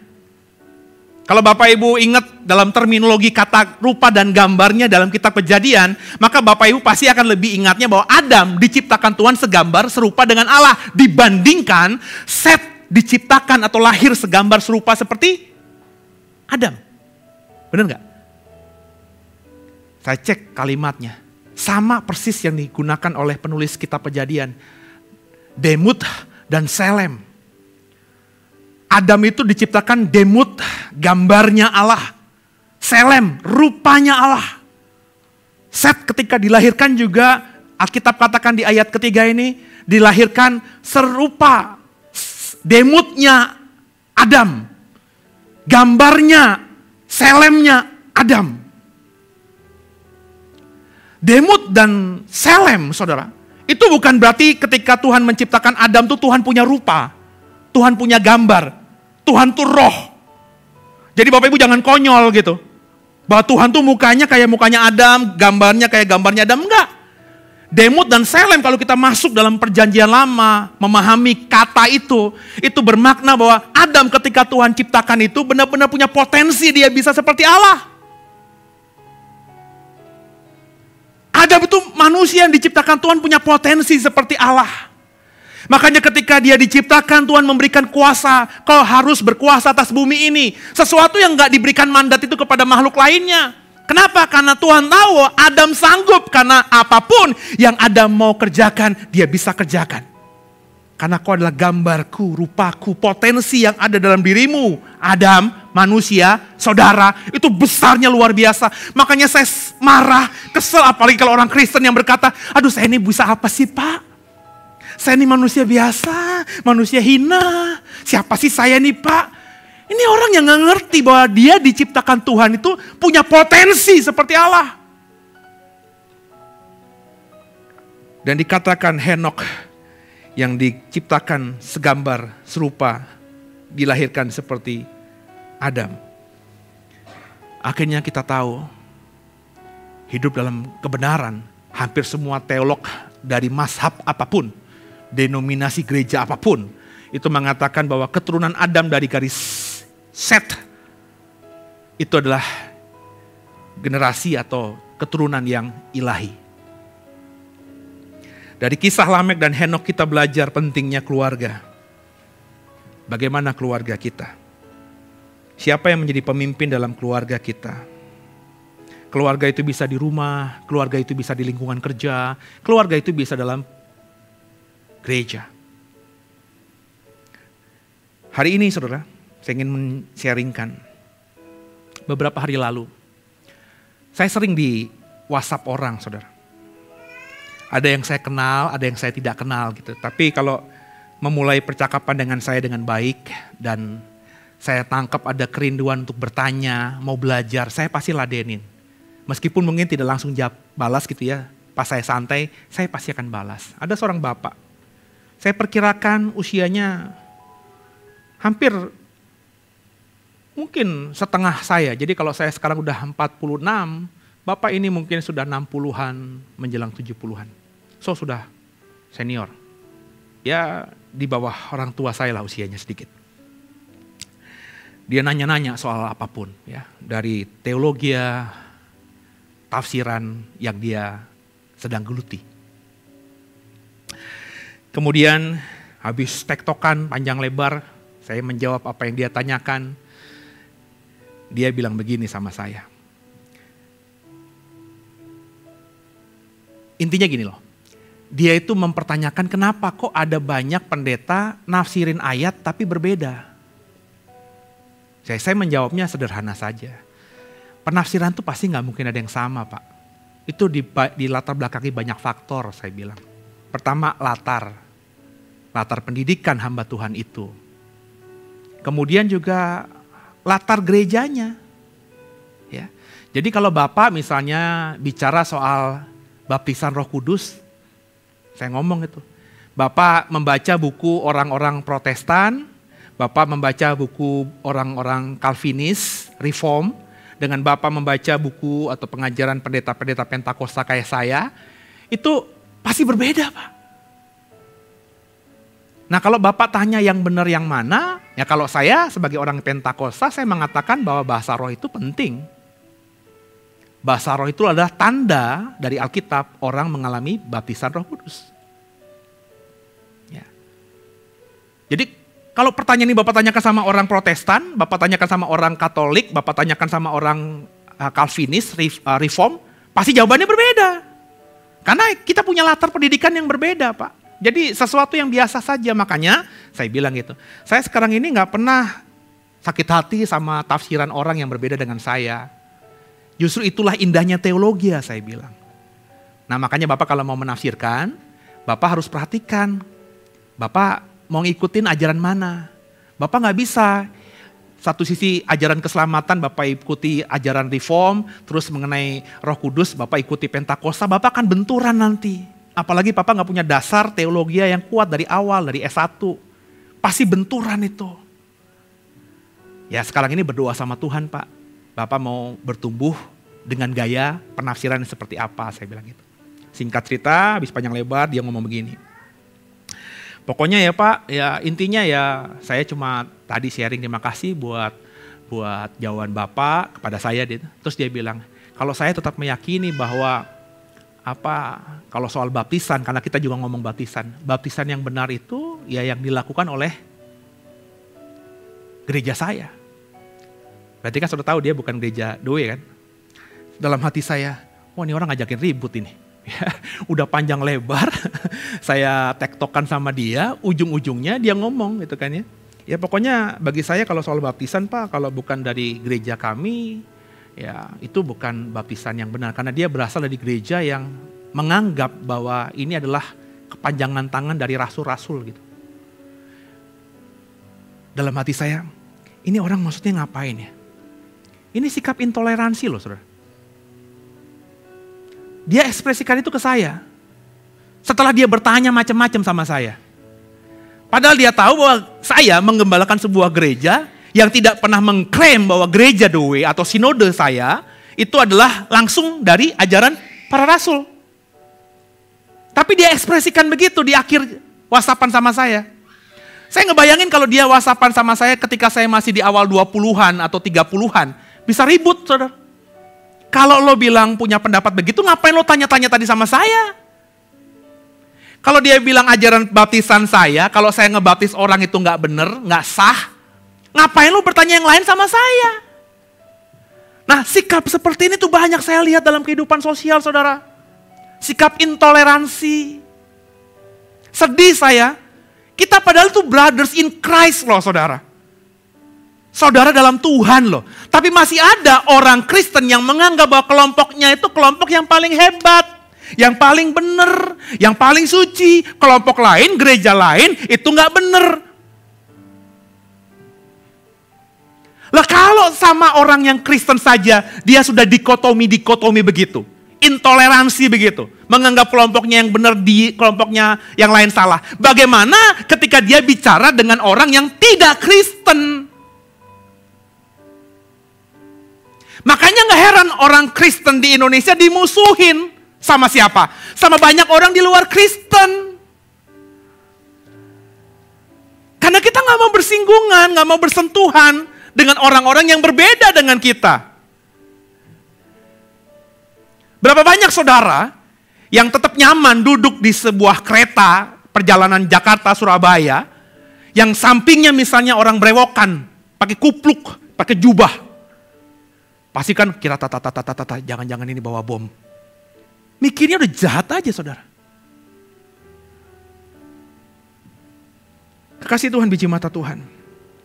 Nah sikap-sikap intoleransi ini harus kita buang. Makanya saya bilang saudara, saya selalu mengatakan kita tuh harus radikal untuk diri. Saya ngomong kemarin di kelas, di STT, di kelas saya saya itu pendeta yang sangat percaya bahwa orang yang sudah dibaptis roh kudus atau roh kudus penuh atasnya itu pasti berbahasa roh. Terus di kelas itu saya langsung bilang, ada Pak Prana, ada Foni. Ini kan semua leader-leader doe semuanya. Pak Prana udah terima bahasa roh belum? Belum. Foni? Belum. Tapi saya tidak merendahkan mereka. Itu yang saya mau katakan kepada kelas saya saya gembalanya itu adalah orang yang saklek banget. Orang kalau sudah dibaptis roh pasti tandanya berbahasa roh. Itu yang saya pegang sampai detik ini. Tapi saya tidak pernah pusingkan kalau ada orang di bawah saya atau orang menjadi keluarga besar The Way, leader-leader The Way yang tidak berbahasa roh. Karena radikal itu untuk diri. Saya hanya mengajarkan kepada Pak Prana, kepada Foni, kalau belum berbahasa roh ya coba minta sama Tuhan supaya mendapatkannya tapi kalau mereka nggak mau misalnya, ya oke okay lah. Jadi radikal terhadap diri, toleran terhadap sesama. Karena ada beberapa gereja saudara, itu yang kalau mau jadi pelayan Tuhan harus sama dengan gembalanya. Misalnya, saya tahu banget ada gereja yang gembalanya berbahasa roh, pekerjanya harus berbahasa roh. Maka ada sekolah berbahasa roh itu. Harus kalau nggak berbahasa roh, nggak bisa melayani Tuhan. Sehingga akhirnya berbahasa rohnya, diada-adain. Kira tata tata tata tata. Oh, samping gua kira tutu tutu tutu, kira tutu tutu tutu. Bukan dari hati, bukan mengalir dari hati. Saya tidak bilang berbahasa roh kira tata tata tata itu salah saudara. Cuma kalau dibuat-buat, diucapkan karena dipengaruhi oleh orang lain, bukan diinisiasi oleh roh kudus yang ada dalam hati kita, itu freak, palsu. Dan mendingan gak usah berbahasa roh daripada berbahasa roh yang seperti itu. Nah saudara kekasih Tuhan biji mata Tuhan. Hari ini, tadi saya dengar sambil saya doa di situ, Foni ngomong sama istri saya. Hi, ada berita, apa Fon? 2,4 juta orang yang sudah divaksin akan divaksin ulang. Di Indonesia ini, ini saya baca beritanya kemarin. 2,4 juta orang harus divaksin ulang. Kenapa? Karena mereka sudah terima vaksin pertama. 2,4 juta orang divaksin pertama, tapi untuk vaksin kedua mereka sudah lebih dari enam bulan, mereka nggak langsung vaksin lagi, nunda, nunda, nunda, nunda, entah apa pun alasannya, sehingga karena sudah lebih dari enam bulan, maka nggak bisa terima vaksin kedua, harus diulang. Bapak Ibu mungkin membacanya remeh ini, sederhana ini, tapi maafkan saya ya kalau kau dengar saya, bagi saya ini jahat, ini kriminal, saudara. Kalau orang itu lupa karena faktor usia, karena faktor apa ya lingkungan, divaksin tuh karena dipaksa yang pertama, terus nggak diingatkan sama yang ngajak, nanti ada vaksin kedua ya, dia nggak tahu gaptek sama handphone, nggak punya aplikasi peduli lindungi, sehingga akhirnya dia lupa tidak divaksin kedua, saya masih bisa memahami. Karena banyak mbah-mbah di kampung begitu kan. Tapi ada orang yang memang bodoh saudara. Udah diingetin sama sama yang nyuntik dokternya perawat. Nanti ini ada vaksin kedua ya. Terus dia anggap remeh lah. Atau dipengaruhi sama informasi yang hoak-hoak itu. Dan yang paling penting ada juga saya yakin yang sengaja memang gak mau divaksin lagi. Kenapa saya bilang ini kriminal berat? Saya baca kemarin juga di berita internasional. Hampir, seba, hampir banyak negara di Afrika yang untuk mendapatkan vaksin itu susahnya minta ampun. Ethiopia termasuk negara paling miskin dengan hutang yang paling berat. Itu untuk mendapatkan vaksin pak, pemerintahnya susahnya minta ampun. Puji Tuhan nih Pak Jokowi ya ketika masih ribut-ribut, masih belum ribut-ribut ya rebutan vaksin, dia sudah kalau kita baca ya kan Menteri Luar Negeri di perintahkan ke farmasi-farmasi besar untuk melobi agar Indonesia dapat vaksin pertama kali. Itu kan dipuji banyak orang.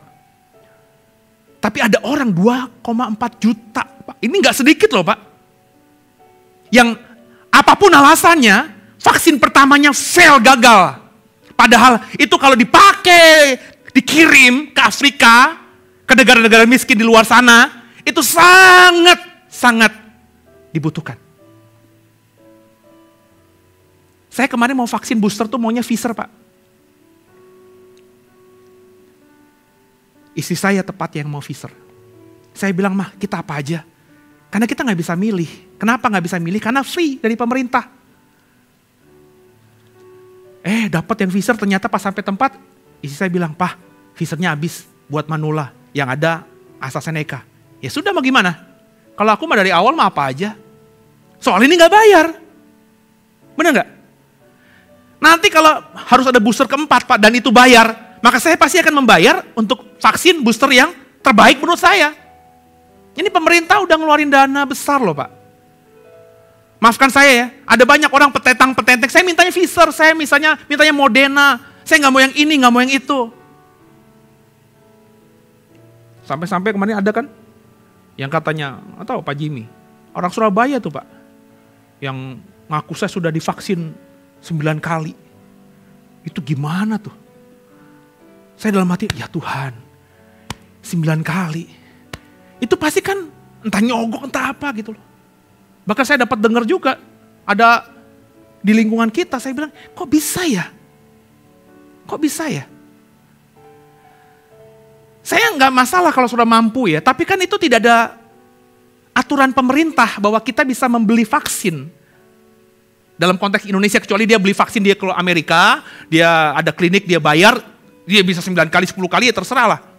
Tapi dalam konteks Indonesia yang pemerintah import itu untuk memvaksin seluruh rakyat dulu. Yang pertama satu dua. Kalau sudah satu dua, hari ini booster. Alokasinya kan ke sana. Jadi kalau ada orang bisa vaksin sampai lima kali, sembilan kali, sepuluh kali. Ini Nggak heran keadilan bagi seluruh rakyat Indonesia nggak bisa jadi. Dan saya nggak kepengen saudara yang dengerin saya seperti itu. Kalau nanti vaksin sudah diperjualbelikan, saudara silahkan beli. Mau yang Pfizer kek, Johnson Johnson kek, Switsal kek, Lux kek.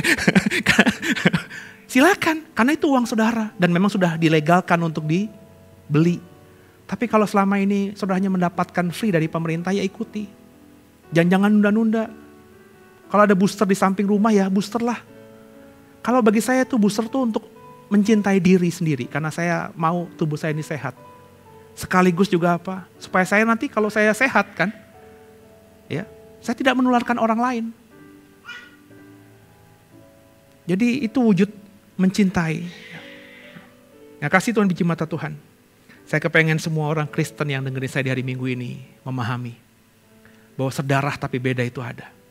Saya sudah kasih contoh tadi dalam kehidupan orang-orang Kristen hari-hari ini yang masih menganggap kelompoknya yang paling hebat. Saya nggak kepengen begitu.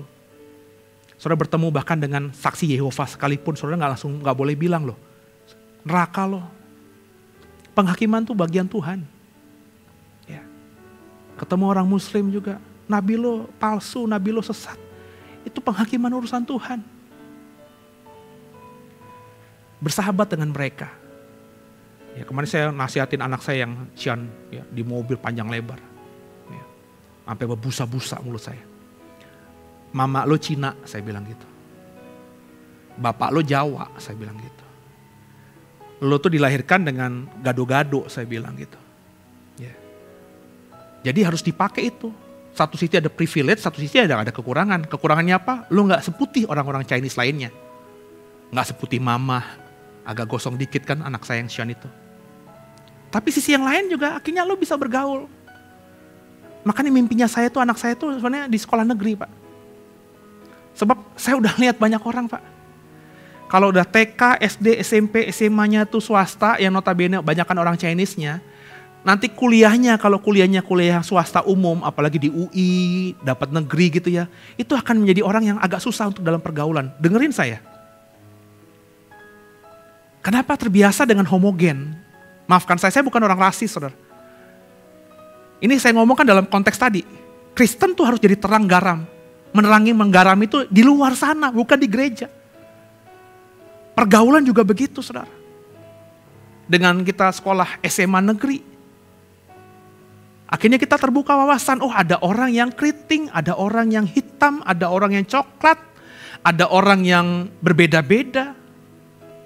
Akhirnya kita bisa toleran terhadap orang lain. Saya masih ingat karena saya tumbuh seperti itu. Saya Kristen sejak kecil Pak. Saya masih ingat zaman SMP, SMA kalau hari Jumat teman saya musola, apa namanya di sholat gitu ya, di sekolah ya. Saya bisa nunggu di pelataran musola ya, tanpa rasa ya ada, aura-aura negatif di sini. Terus saya pakai minyak urapan dalam namanya saya urapi setan iblis nabi palsu. Saya enggak, saya nyantai aja duduk di situ.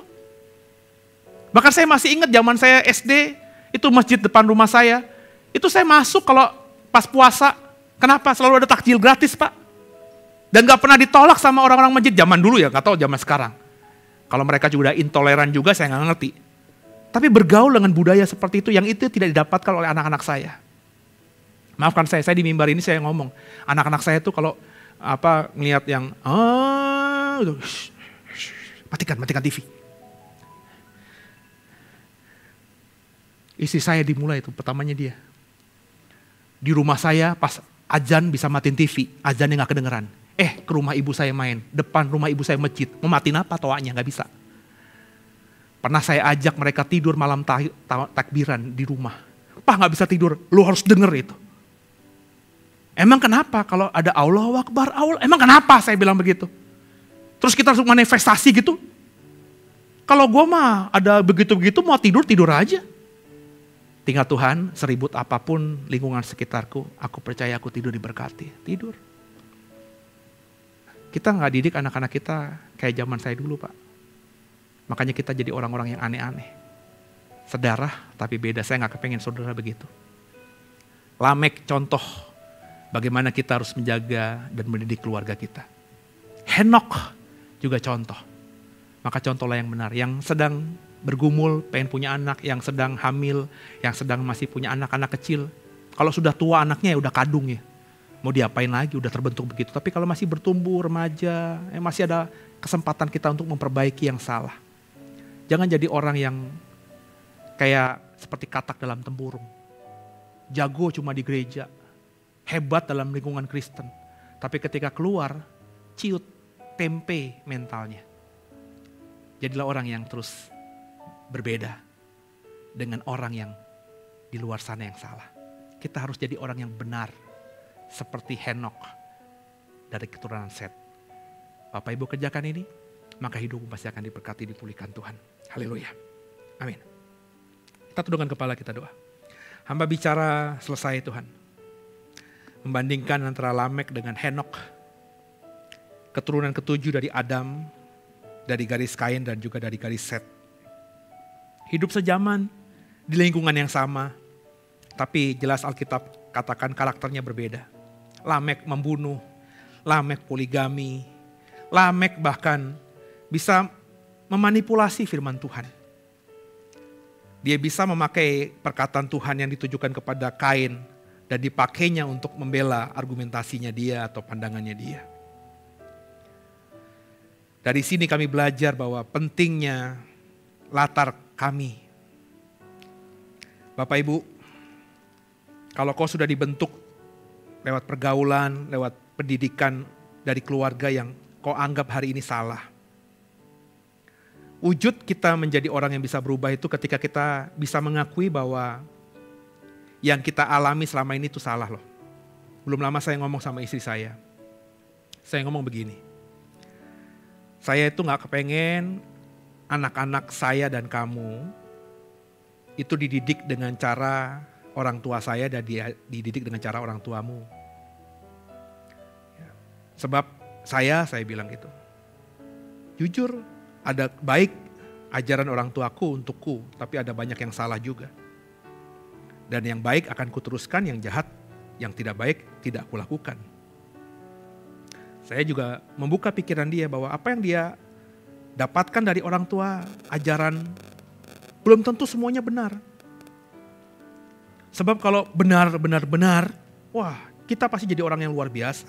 Tapi faktanya kan tidak. Maka kita harus mendidik anak dengan cara kita.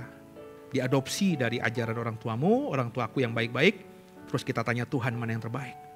Dan ini penting saudara dalam kehidupanmu sebagai orang tua, sebagai pemimpin di perusahaanmu, tempat kerjamu, di dalam segala aspek kehidupan itu penting.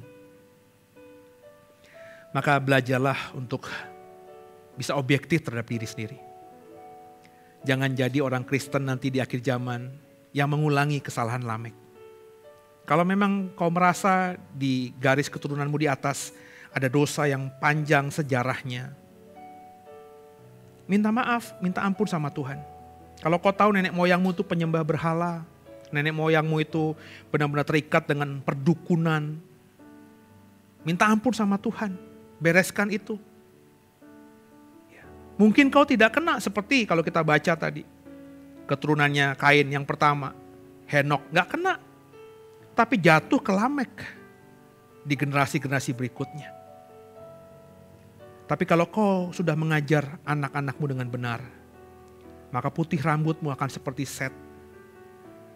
Melihat anak-anaknya diberkati sampai bahkan keturunan ketujuhnya yakni Henok itu dikatakan bergaul erat dengan Tuhan. Saya berharap semua orang Kristen yang dengarkan saya mau berubah. Dan menjadi orang yang berpikir dengan objektif. Sedarah itu belum tentu sama. Sedarah itu bisa beda Seagama juga belum tentu sama. Seagama bisa jadi beda. Jadi bagi saya nggak penting kita sedarah atau tidak sedarah. Tapi yang penting kita semuanya menjalankan apa yang Tuhan perintahkan bagi kita dengan sungguh-sungguh. Hamba selesai bicara roh kudus. Berharap sungguh semua yang mendengarkan bisa memahami dan akhirnya melakukan. Haleluya. Kami akan terima tubuh dan darah Yesus di minggu ini kami percaya tubuh darah Yesus sudah menyembuhkan sakit penyakit dan juga menyucikan kami. Haleluya. Bapak Ibu saya minta untuk bangkit berdiri.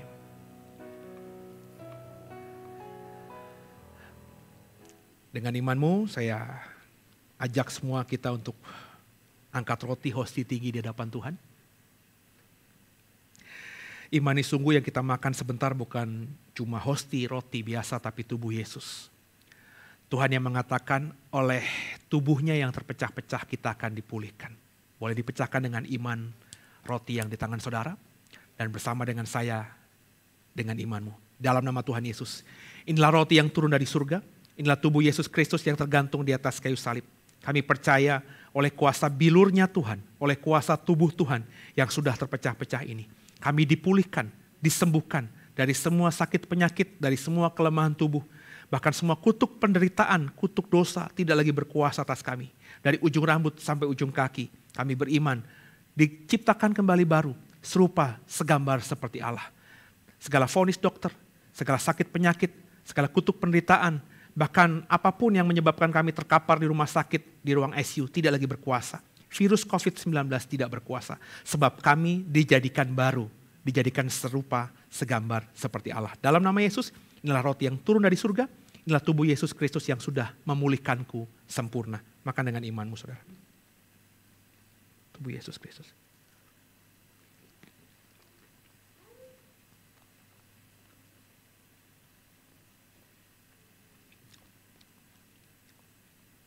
Makasih Tuhan. Selanjutnya dengan imanmu. Angkat anggur tinggi. Iman ini sungguh yang kita minum bukan lagi sirup atau anggur, tapi darah Yesus. Yesus katakan oleh darahnya kita sudah disucikan. Imani sungguh bersama saya dengan imanmu. Dalam nama Tuhan Yesus, inilah darah perjanjian yang baru. Darah Yesus Kristus yang tertumpah dari atas kayu salib. Kami percaya oleh setiap tetes darah Yesus kami sudah dijadikan baru. Mata kami suci kudus bisa memandang kemuliaan Tuhan. Telinga kami peka bisa dengar panggilan surgawi. Mulut lidah kami penuh kuasa. Sehingga apa yang kami ikat di bumi terikat di surga. Doa kami didengar Tuhan.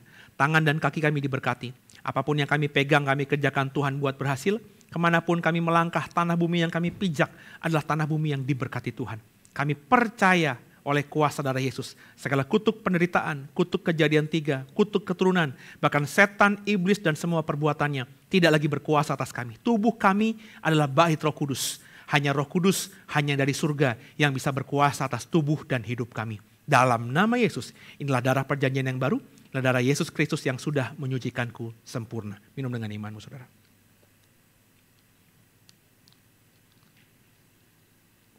Kasih Tuhan Yesus.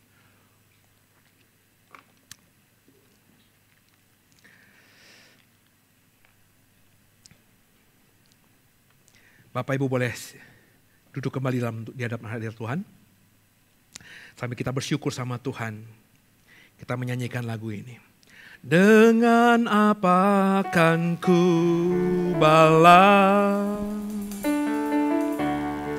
segala kebaikanmu. Segenap hatiku menyembahmu Yesus. Ku bersyukur padamu. Dengan apa kan ku balas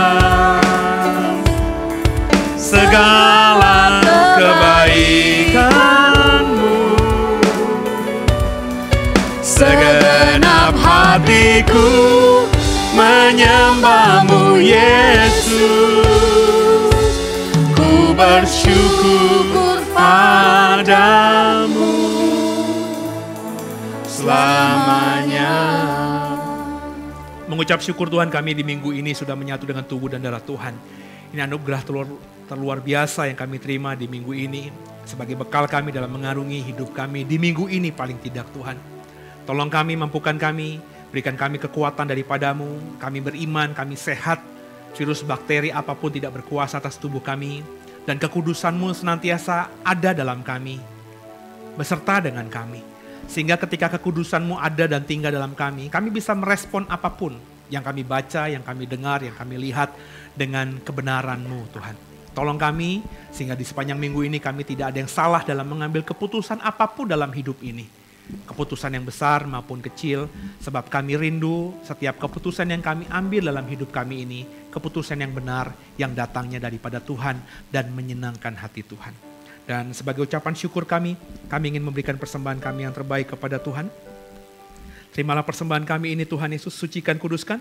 Sehingga lewat persembahan kami ini kami beriman pelayanan gereja, doe bisa semakin diberkati Tuhan, semakin jadi berkat bagi banyak orang terutama pelayanan digitalnya, semakin bisa menjangkau banyak orang untuk bertobat dan mengenal Tuhan. Kami siap memberi yang terbaik. Haleluya. Amin. bahwa selain yang terbaik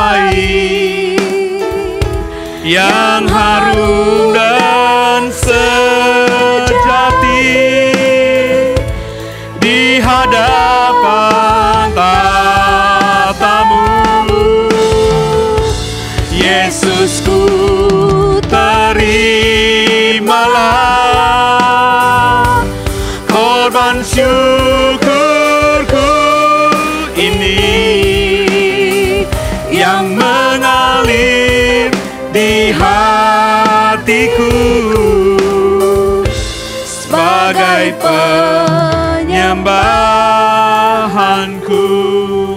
Kekasih Tuhan, ibadah kita akan berakhir.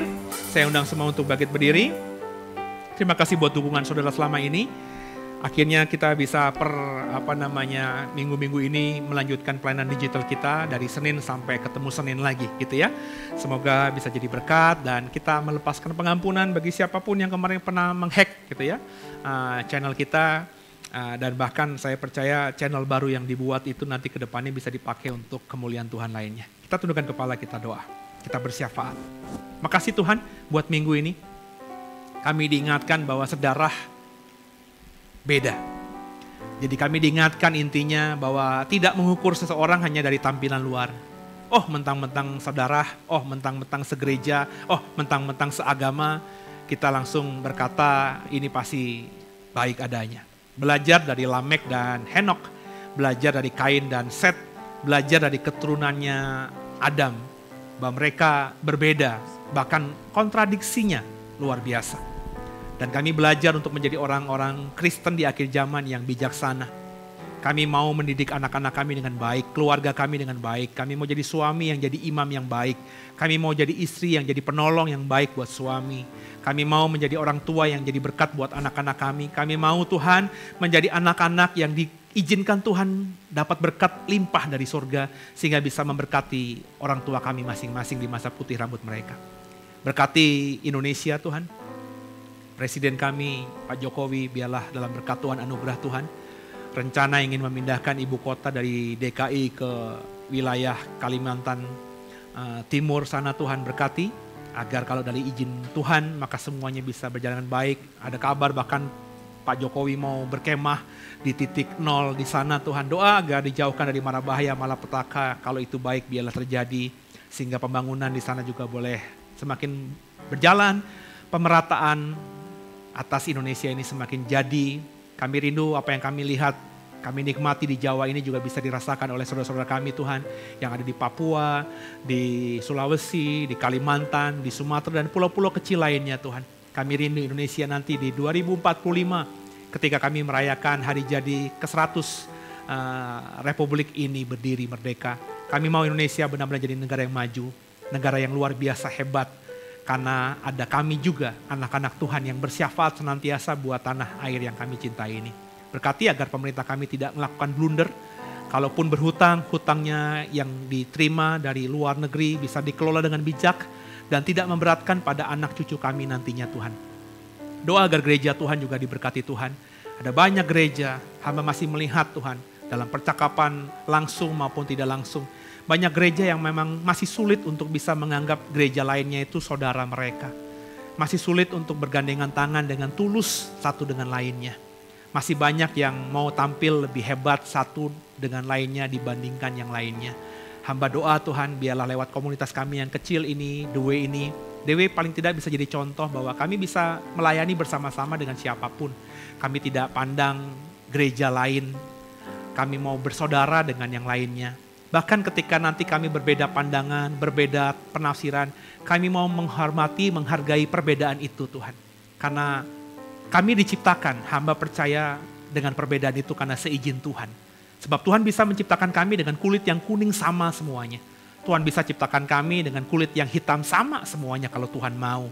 Tapi Tuhan izinkan ada yang kulitnya kuning, putih, hitam, sawo matang, coklat, semua bukankah artinya Tuhan yang berkehendak? Dan kami ajarkan kami Tuhan bisa melihat perbedaan itu dengan kacamatanya Tuhan. Bahkan kami yang berbeda dengan orang lain yang berbeda iman pun kami masih bisa menghargai Tuhan. Sebab kami percaya mereka berbeda iman pun itu karena seizin Tuhan. Terima kasih Tuhan. Kami mau hidup dengan perbedaan ini dengan perspektif yang benar. Kami mau radikal untuk diri tapi toleran dengan sesama. Tolong kami terus bisa jadi berkat bagi banyak orang untuk itu berkati kami. Apa yang kami kerjakan Tuhan tolong berkati. Sehingga kami selalu bawa berkat yang dari Tuhan ke rumah kami. Sehingga paling tidak berkat itu bisa dirasakan oleh keluarga yang tinggal satu rumah dengan kami. Sehingga keluarga dekat kami bisa merasakan hidup di bumi ini seperti layaknya hidup di surga. Dan kalau sudah demikian, kami percaya kami bisa jadi terang dan garam bagi orang di sekitar kami, masyarakat sekitar kami, bahkan bisa berdampak bagi dunia ini. Tuhan berkati semua yang hadir, semua yang mengikuti ibadah ini. Biarlah mereka semua terus dalam semangat beriman kepada Tuhan. Selalu bekerja dengan sungguh ora et labora. Selalu ada api roh kudus bernyala dalam hidup mereka. Sehingga apa pun yang mereka kerjakan, hamba berdoa mereka kerjakan seperti untuk Tuhan. Bukan untuk yang lainnya yang fana itu. Yang mau bercerai Tuhan, jamah lembutkan hati mereka sehingga ada pengampunan yang sedang mau membentuk rumah tangga, Tuhan cukupkan berkatnya, siap adanya, berkatnya ada dari Tuhan. Yang punya kerinduan apa pun, Tuhan berikan jawaban yang terbaik dari Tuhan. Berikan anak pada mereka, berikan pekerjaan terbaik buat mereka, sembuhkan mereka. Beberapa keluargaku di Dewi ini ada yang terpapar COVID-19. Doa agar mereka bisa isoman mandiri, tidak ada gejala yang berat yang ada mereka rasakan. Biarlah pertolongan Tuhan nyata, lewat obat-obatan yang diberikan free oleh pemerintah, lewat puskesmas, lewat Kemenkes, lewat Halodoc, dan apa pun itu Tuhan, pakai semuanya sucikan Tuhan, sehingga saudara-saudara kami yang sedang positif saat ini, lewat seminggu, 15 hari paling tidak, nanti mereka sudah negatif lagi, dan bisa beraktivitas kembali sedia kala dengan tentunya hidup ke depannya lebih bijaksana lagi. Jauhkan kami dari mara bahaya Tuhan. Kami serahkan hidup kami dalam tangan Tuhan. Tubuh jiwa roh kami hanya untuk Tuhan. Tuhanlah yang bertahta atas hidup kami. Beracaralah dan pakailah kami sesuka-sukanya Tuhan. Biji mata Tuhan arahkan hatimu dan terimalah berkat terbaik dari Tuhan Yesus Kristus. Seperti Tuhan memberkati Abraham, Isa, dan Yakub, berkat yang sama kita terima dalam nama Tuhan Yesus Kristus. Tuhan memberkati kita semua jadi kepala, nggak pernah jadi ekor, naik nggak pernah turun. Apa yang kita pegang, yang kita kerjakan senantiasa Tuhan buat berhasil. Dan percayalah mulai minggu ini tangan Tuhan menolongmu, menuntunmu, menjaga, melindungi keluar masuk rumahmu diberkatilah hidupmu, jadi berkat bagi banyak orang, sehingga nantinya yang namanya damai sejahtera dari Allah Bapa, cinta kasih dari Tuhan Yesus Kristus, serta persekutuan yang manis mesra dengan Roh Kudus, selalu nyata atas hidupmu mulai minggu ini sampai nanti Maranatha, ketika Tuhan jemput kita semua di awan-awan kemuliaan, dan di bawahnya kita masuk dalam kerajaan surga kekal selama-lamanya. Yang diberkati, percaya Tuhan, katakan dengan iman. Amin. Haleluya. Saya percaya setiap kita diberkati, amin.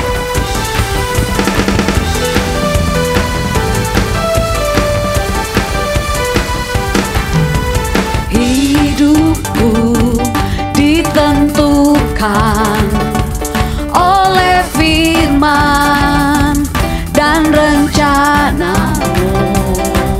Dicintai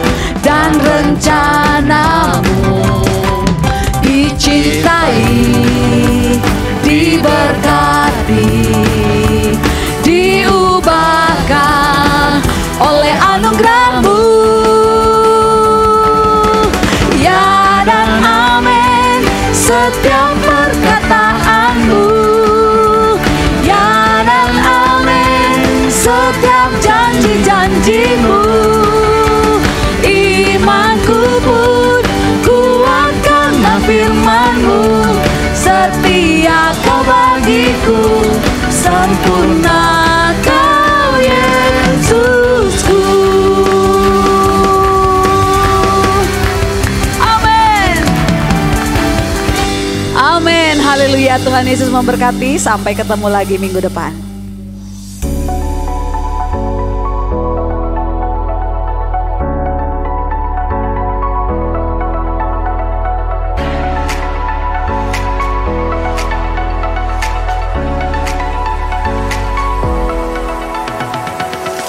Bapak Ibu yang merasa diberkati dan ingin memberkati kami lebih lewat dana dapat disalurkan melalui scan barcode berikut ini atau ditransfer melalui rekening yang ada di layar Bapak Ibu Saudara.